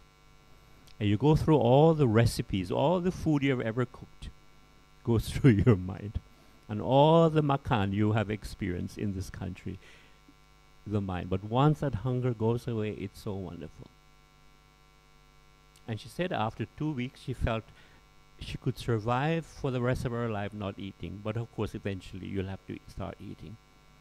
And she felt like she was floating, you know. The body just felt so light, her mind so clear. But finally, after you know one month, she had to break the fast. And when you're on such a long fast, how you break the fast is very important. It has to be very gradual. The first of all, just some diluted juice, just a little juice with water, very diluted first, and then just normal juice, and then things like you know milk, yogurt, just liquids, and eventually, you know, like porridge, you know, kanji, juk, very very gradual. She says she never felt so so healthy in her life. Very light, very clear. Mm. Actually, I would love to do this. I would love to go to India just to do one of these uh, these long fasts. I've only done five days, but I would love to do a longer one. Maybe two weeks. Maybe two weeks would be good. Yeah. Yeah. So very quickly, how do we deal with fear when fear arises? we do what we do with mindfulness. We objectify the fear. Hmm? There is fear, or there's a state of fear. Not I am afraid or I'm scared. And you say it is impermanent. And then what can be very beneficial, you do some loving kindness. hmm? Something very positive, and you allow the fear to dissipate, to go away without struggle. Another way you can do the Thich Nhat Hanh style, the mindful breathing and smiling. Have you heard that one? Breathing in, I know there's fear in me. Breathing out, I smile. And you smile at that fear. And you say, It is impermanent. You know, this too shall pass. It's a very beautiful practice because when you smile mindfully, it's a very wholesome state of mind, isn't it? When you smile. So, in other words, it's a smile of metta because you're not judging, eh? you're not judging the fear. Just like if you're angry, you're not judging the anger, you're not judging the craving or whatever you have in your mind. Breathing in, I know there's upset in me. Breathing out, I smile. You just accept it is there. And you know it is impermanent. It's a very good practice, smiling. It's like the laughing yoga. You know about laughing yoga, right? Yeah. And sometimes when I do the qigong, we do laughing qigong too, or just go ah. it's very good, very therapeutic. You know, letting go of negativity, stress, and so on, anger, frustration. And another way you can do chanting, mindful chanting. Maybe we, we can end with it. This chanting comes from the very profound teaching called the Heart Sutra. Have you heard of the Heart Sutra? Mm. Yeah, because you know it's chanted in many temples in Asia. It's very profound. Form is emptiness, emptiness is form. And it goes about all the sense organs are all empty. It's all related to the teaching of non-self emptiness. And at the end of it is this beautiful mantra. Gatte, gatte, para, gatte, parasam, gatte, bodhisvaha. And the meaning is beautiful. It says, going beyond, going well beyond, going beyond the world of ignorance, delusion, craving, aversion, attachment, fear. You know, dukkha, going beyond the world of dukkha. And bodhis, bodhisvaha means rejoice in the bliss, freedom, and peace of awakening, hmm, of enlightenment. Shall we end with that? Okay, I'll do it and you can join me if you wish. Very simple. And you find that it's an easy way to, to focus the mind. And I remember in Malaysia, a few people have told me that, Ayo Bhante, I can't meditate at night alone. You know why? Because the ghost is going to come. Some people believe that. So I said, Never mind, you chant, do some chant, whatever you, it doesn't have to, any chant you like. Or sing a song, sing a, any song you like. And believe me, the ghost will go away. Gatte, gatte, para, gatte, parasam, gatte, bodhisvaha. Gatte, gatte, para, gatte, parasam, gatte, bodhisvaha. Gatte, gatte, para, gatte, parasam, gatte, bodhisvaha. Gatte, gatte, para, gatte, parasam, gatte, bodhisvaha. Gatte, gatte, para, gatte, parasam, gatte, bodhisvaha. 가테 가테 바라 가테 바라삼 가테 보리스와 가테 가테 바라 가테 바라삼 가테 보리스와 가테 가테 바라 가테 바라삼 가테 보리스와 Gatte, gatte, para, gatte, parasam, gatte, bodhisvaha. Gatte, gatte, para, gatte, parasam, gatte, bodhisvaha. Gatte, gatte, para, gatte, parasam, gatte, bodhisvaha. Gatte, gatte, para, gatte, parasam, gatte, bodhisvaha. Gatte, gatte, para, gatte, parasam, gatte, bodhisvaha. Gatte gatte para gatte parasam gatte bodhisvaha. Gatte gatte para gatte parasam gatte bodhisvaha. Gatte gatte para gatte parasam gatte bodhisvaha. Gatte gatte para gatte parasam gatte bodhisvaha.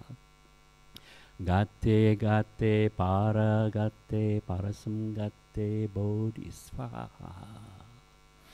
Gatte gatte para gatte parasam gatte bodhisvaha. Gatte gatte para gatte parasam gatte bodhisvaha. Gatte gatte para gatte parasam gatte bodhisvaha. Gatte gatte para gatte parasam gatte bodhisvaha. Gatte gatte para gatte parasam gatte bodhisvaha. Gatte gatte para gatte parasam gatte bodhisvaha. Gatte gatte para gatte parasam gatte bodhisvaha. Gatte gatte para gatte parasam gatte bodhisvaha.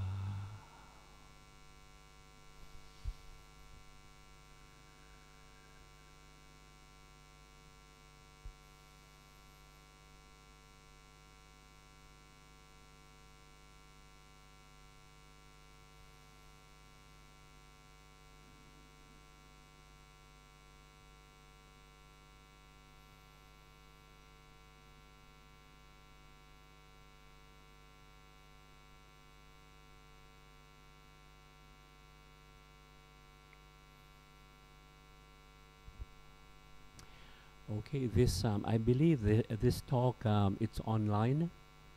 So if you Google um, the nature and ending of fear, mm. the I think the PDF file is there.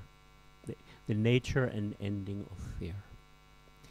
And if you can't find it, then just download my book. I think uh, Brother Bobby has the the link. You just Google Bhante Kovida, and then click on an inquiring mind's journey. Google Bhante Kovida, click on Inquiring Mind's Journey. And one of the chapters is the nature and ending of fear. Mm.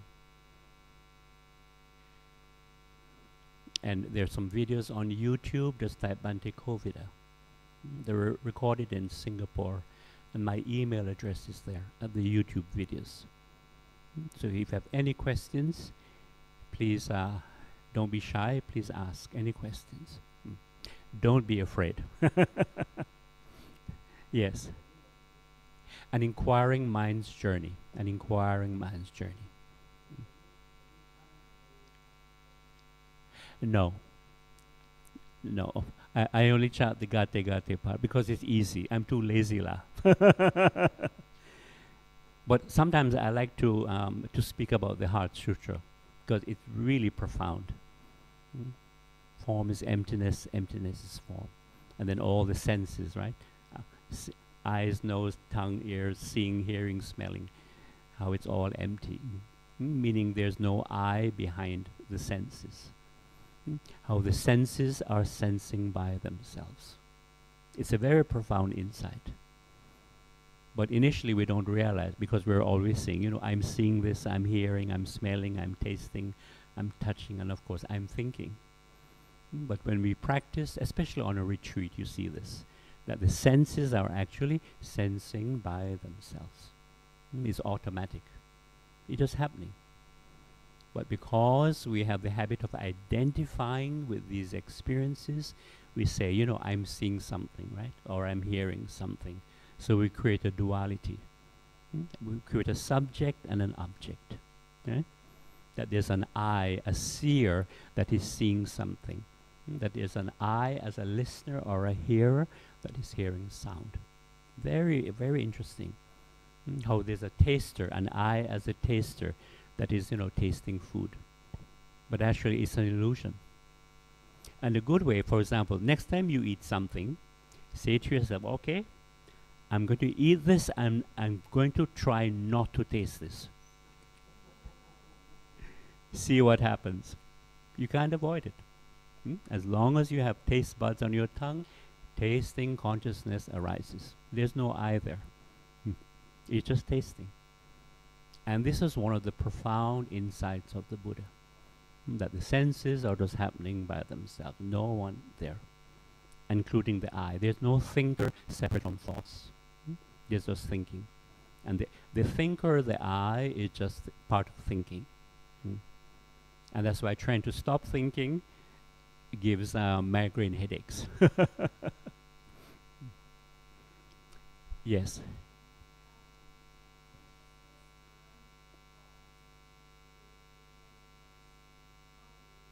Okay.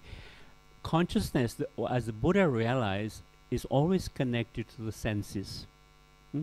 Seeing, hearing, smelling, tasting, touching, and thinking. As you know, the Buddha added the, the, the mind as the sixth sense. Whereas most of us are brought up with only five. But he saw that because his, his insight was so profound. Now, normally we think consciousness is something permanent in the mind, stuck somewhere. But actually, when we practice and we understand the senses, we see that consciousness is always changing depending on our sense experience.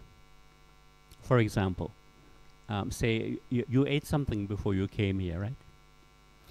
When, when you're eating, part of consciousness was tasting and smelling, right?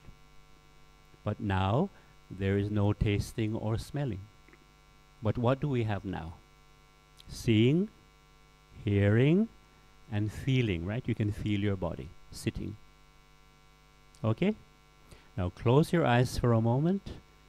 There's no seeing consciousness with eyes closed, but there's still hearing and feeling, touching. Okay? Now open your eyes and seeing consciousness arises again. That's the nature of consciousness. It keeps changing. And when you go home, and say if you have a snack, again tasting and smelling will arise again. Very interesting. So that's the nature of consciousness. It keeps changing. Nothing solid, nothing permanent. And what is interesting also, to add to this great mystery of life, when we all go to bed tonight and we fall asleep, guess what? There is no consciousness, at least for two hours. In deep sleep state, there is no consciousness. In other words, we die mentally every night for at least two hours. It's true. And that's why there's an old saying when somebody's in deep sleep, we say that person is dead to the world. You remember that saying? Yeah, the old people will, will remember the saying. It's a very famous old saying, you know that person is dead to the world. Means you're not aware of anything. Because in a way, it's true. When in that deep sleep state, we're not aware of anything. So even if your ra radio is on, TV is on, in those two hours, there's no hearing consciousness. No thinking, no I. Yes. So when, when, when the brain comes out of that deep sleep state, usually it's about after two hours then that's when the dream state starts up. You know, thought arises, and that's what we call the dream state. And if you observe your dreams and you write them down quickly before you forget them, you see most of our dreams are really just memories all mixed up. Have you noticed that? Because thinking is related to memory, right? Past experience, knowledge, information. And sometimes, if you have a certain fantasy, it will come out in your dream. You know, a certain desire. Sometimes, say you have certain um, conflict in your life. Sometimes it comes out in your dream, or an anxiety. Right? We can all relate to having an anxious dream. And sometimes we can all relate to this. You're having some important event coming up, or you know, some appointment. Some very often you dream about it. Hmm? Or you're going to take a trip somewhere, and of course you're excited, Very often you, you dream hmm, about flying off somewhere.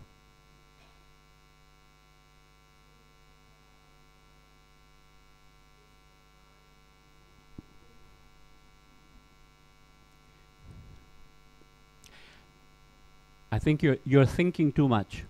That's right. Aha, stop it. Stop it.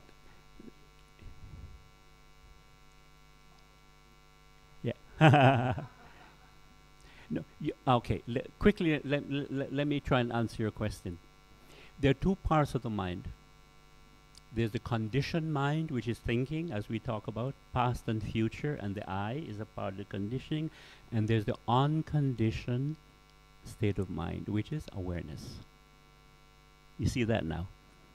And the unconditioned awareness or mindfulness, attention, is always now present.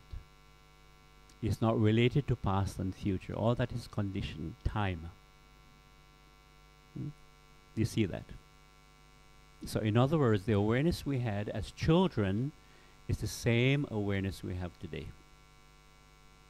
It never changes. The only difference is that now, as adults, and with Dharma understanding, Dharma practice, we can understand. Huh? We can understand this much better because a young child doesn't understand. Because I remember when I first had this awakening in India, I realized, wow, as a child, the mind used to be in that state. Just pure awareness looking at nature. Timeless. Each day was timeless. Can you remember that when you were young? And playing outdoors. You had a sense of wonder, and each day was timeless. Can you remember that? Yeah. Mm. But in North America, many children can't remember. You know why? Because they always had television. And no, now, of course, it is even more difficult for kids because of video games and you know the endless electronic things. That's right. As children, we all experience this. But again, as children, we don't understand it, but it's a natural state. It's a natural state. But it is fascinating, isn't it? This human uh, condition and consciousness. Yes.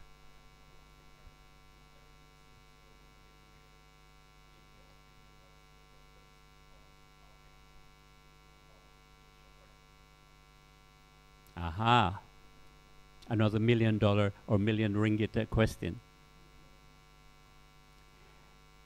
There is no purpose to life. People ask me this why was I born? What's the meaning of life?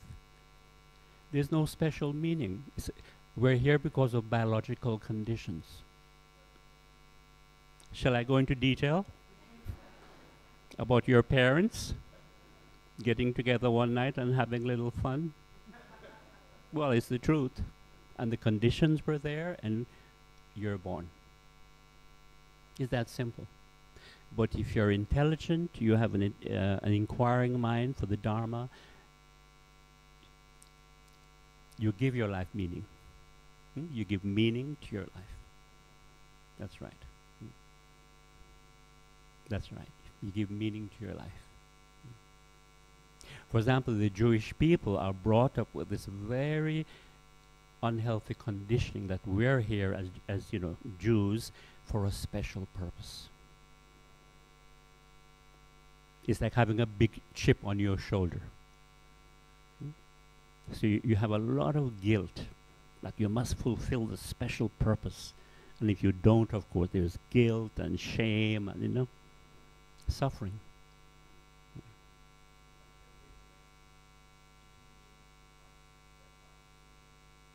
No. No, because as human beings, you know, we have emotions, we have intelligence, so we use it as best as we can. Mm. For example, there were some people who became enlightened, but they were just not, they were not teaching. They were not interested in teaching. They just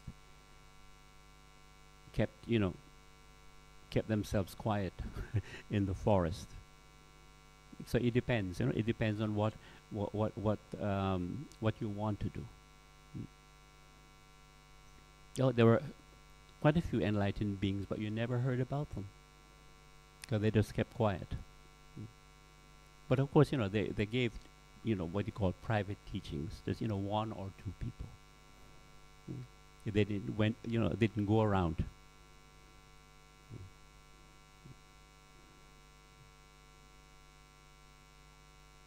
So it's really, um, yeah, doing what feels right. And use this intelligence, the intelligence, yeah. Okay? Yes.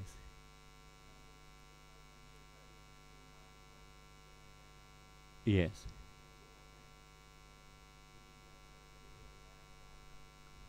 Of course. And as you know, in daily life, we need to think, don't we? But the only thing, we don't have to be thinking all the time. Because that's part of the, the, the problem with humans. Even when we don't need to think, the mind keeps thinking, thinking, thinking. You know, it's like a machine that doesn't know when to stop. And that, that creates a lot of our delusions and our problems. And we waste a lot of mental energy also when we think too much. So, what mindfulness does and wisdom, we bring order into the mind, which means when we need to think, we think logically, rationally, and when we don't need to think, we come back to awareness. See the difference?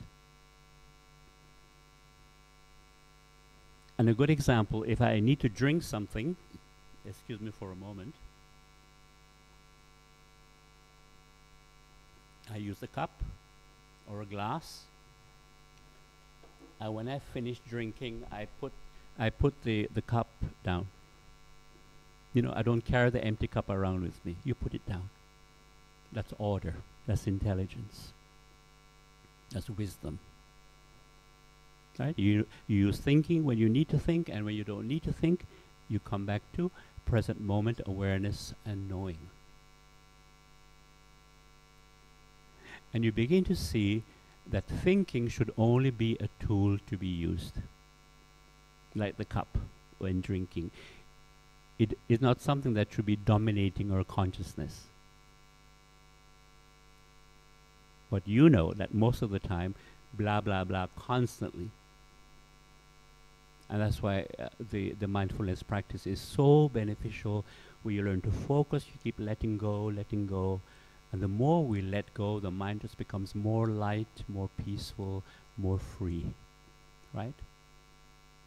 You unburden the mind of all this mental chatter because that is where the dukkha is, isn't it? Dukkha, thinking is dukkha all the uh, kilesa, you know, all our mental defilements is created by thinking. Just like fear, worry, anxiety, frustration. It's all thinking. Mm. That's why the first teaching I had from this man in India, he could speak a little English. He shook his head in the Indian style and he says, No think, no problem.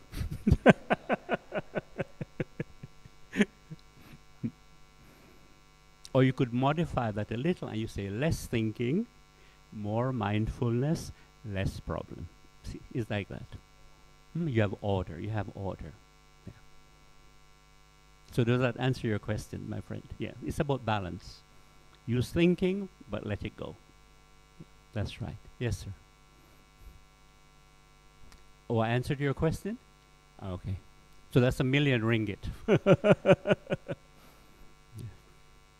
But this subject is fascinating, you know, about what continues after death. It, it's always, it fascinates me, uh, and the unknown, and why we have the fear of the unknown. But it has to do with thinking. Mm. Yes.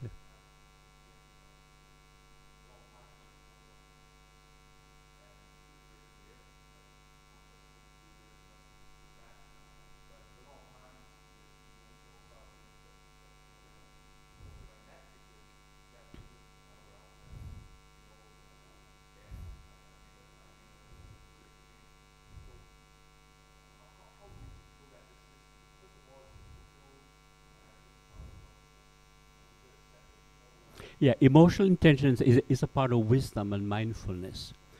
It means that, of course, if you cannot control your emotions, and most people can't, but the important thing is that when emotions arise, we don't identify with it.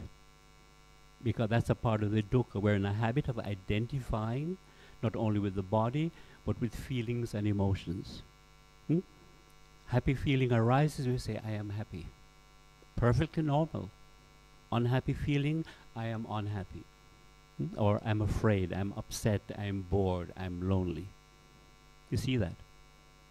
It's a just a moment.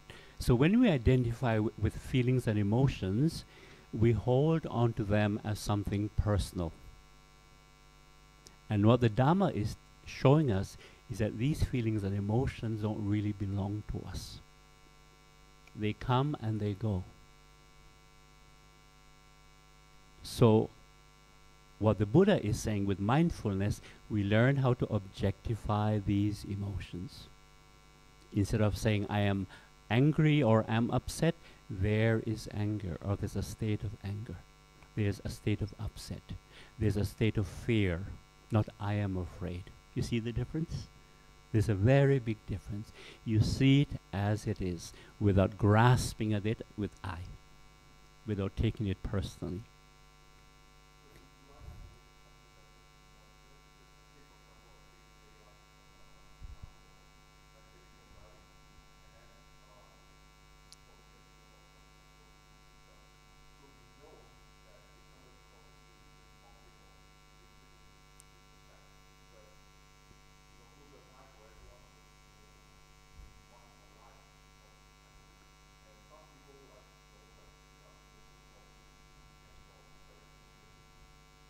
Yes, I understand. I understand that.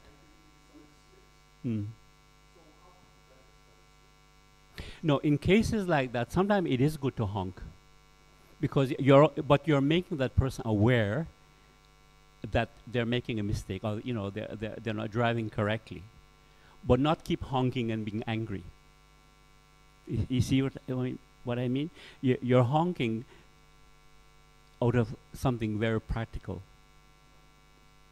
But of course, getting angry is only creating, you know, dukkha for yourself. But the point is, if if the anger arises, you breathe with it and you objectify it. There is anger, and you breathe, and it, I know it's Im- it's impermanent. But I know with anger because it's such a strong illogical emotion. Just sitting with anger is not easy. And that's why we have things like Qigong or yoga. Yeah. And actually, a very simple thing you could do, and it's so simple, is this.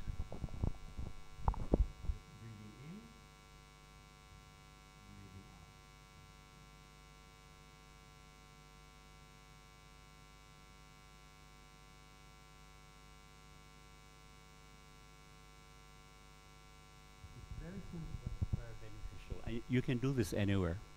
I show medical people this because you know they can't sit quietly in a hospital, right? When things are so busy, but they can just stop for one minute and just go. Because you find that when you breathe and move mindfully, it's an easy way to focus your mind, especially when you're in a very busy environment. And say if you're at the stoplight, you can do this because then you can both your hands are free. Or even if if one if you need one hand for steering you can do it with the other hand. Just breathe. Of course you have to keep your eyes open if you're driving. But if, if you're at a stoplight or you're parking yeah, even for five minutes it helps. It really helps just to breathe and move Becau- it just brings you in the moment. It just brings you in the moment. Yeah. Well, this is one of the reasons why I do qigong wherever I go, because it's simple, and it's just a very beneficial way of just dealing with, with you know stress, any kind of stress, emotional stress, anxiety, depression. Yeah. Mm. Very simple. It's very simple. It's not complicated. And you know, it's a form of what we call dynamic mindfulness, right? You, you're moving with awareness, Mm, just like mindful walking is a form of uh, dynamic mindfulness. Yeah. Or you can just do the laughing yoga. just laugh. Like if somebody is being unpleasant to you, just do this and smile. And you ignore that person. And believe me, that person will be very puzzled. What the hell are you doing? just, just ignore them. Because you see, really, the point is you don't react to that person's unpleasantness. Because it's your reaction that really causes dukkha. And that was one of the essential teachings of the Buddha. When you see, just see. When you hear, just hear. It sounds easy, but it's not easy to practice, right? Because we're so conditioned, right, from child, always reacting. This is nice, not nice. I like, I don't like, like this. But when you practice this, you begin to see the, the great benefits of it, of not reacting. And in my own experience, I had only two or three monks who got angry with me. Something very trivial. And I just kept calm. And I know, and you notice that when you keep calm, you act like a mirror, hmm, where you reflect their anger or their behavior. You see that? Because you're not reacting, you just remain calm.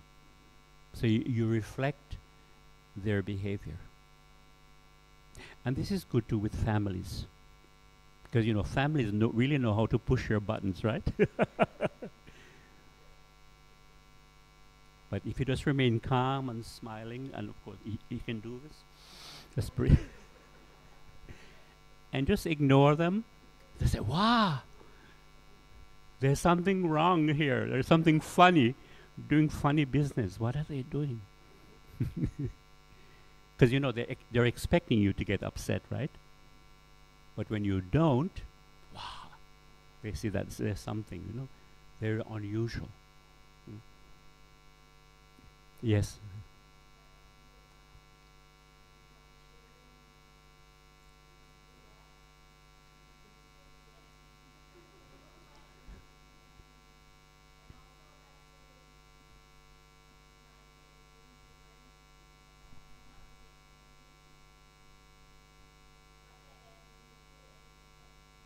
Mm.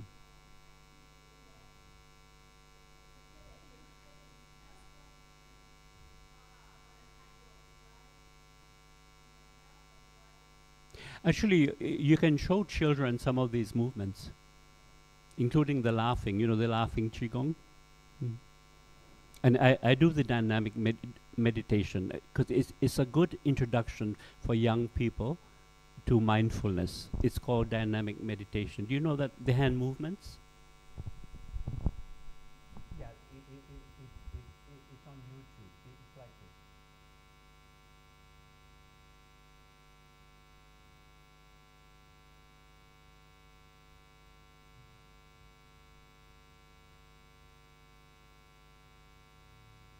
And you just repeat. It's a very easy way to focus the mind. And even people with experience can do this because you know sometimes you sit and for some reason you just can't focus the mind, right? Or you're thinking too much, or people are worrying too much. They can't meditate, but this they can do. So I show teenagers and even younger children how to do it. It's a good introduction. And it's good for thinking when you think too much, worrying, you know, regretting, obsessing. Yeah, I learned it in Thailand.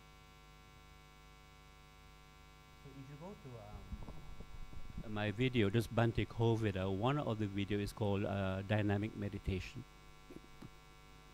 Or if, if you type uh, Mahasati meditation, you know Mahasati means great mindfulness.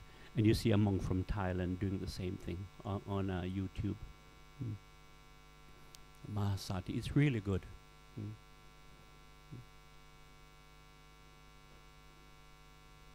Yeah, you're welcome. Mm.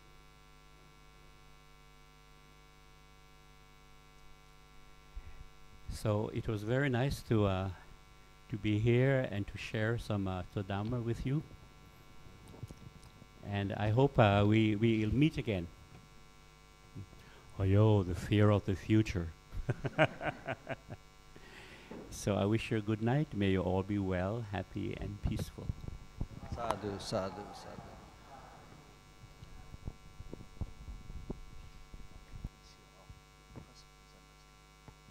Yes, first of December. Yeah, I think it's a Sunday. Yeah, I'm available. Would you all like to have Bhante again? Uh, 1st of December, Sunday morning. Yeah, Bhante, Bhante just confirm. Okay, good. So we see, see you again on 1st of December, Monday, Sunday morning.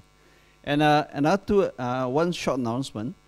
This Saturday uh, evening, we are having a, the launch of Jam Kids, uh, iGEM's uh, third album. iGEM's our, our singing group in BGF is uh, uh, having a album launch in uh, in uh, level two at uh, 7:30, and also Sunday morning we have uh, CPR, group, cardiac, uh, uh, CPR. Uh, this uh, Sunday morning at nine o'clock here. Okay, thank you. So uh, BJ would like to offer a short, small uh, Bhante. On, on behalf of BGF, I'd like to offer a small Bhante.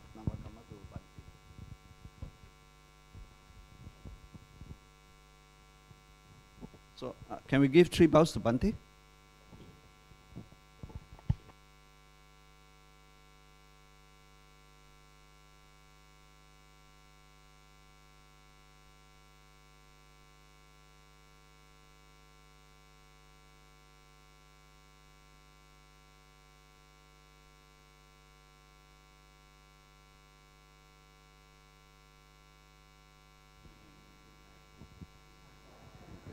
Sadhu, sadhu.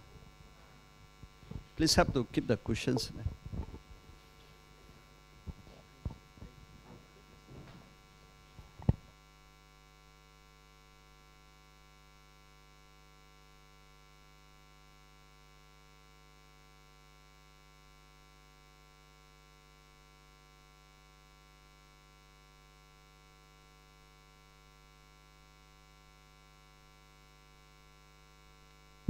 Uh, Bhante is having uh, meditation retreats, uh, four retreats, four one day retreats every Saturday, starting from this Saturday at Brickfields Temple.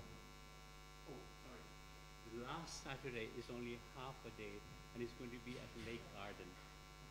Uh, so, three in Brickfields, one in Lake Garden That's right. this Saturday. This Saturday from 9 to 6. 9 a.m. to 6 p.m. I will do the Qigong in the, in the afternoon, 3 o'clock. And your topic on the first is also mindfulness and Qigong. I That's right. May, mind,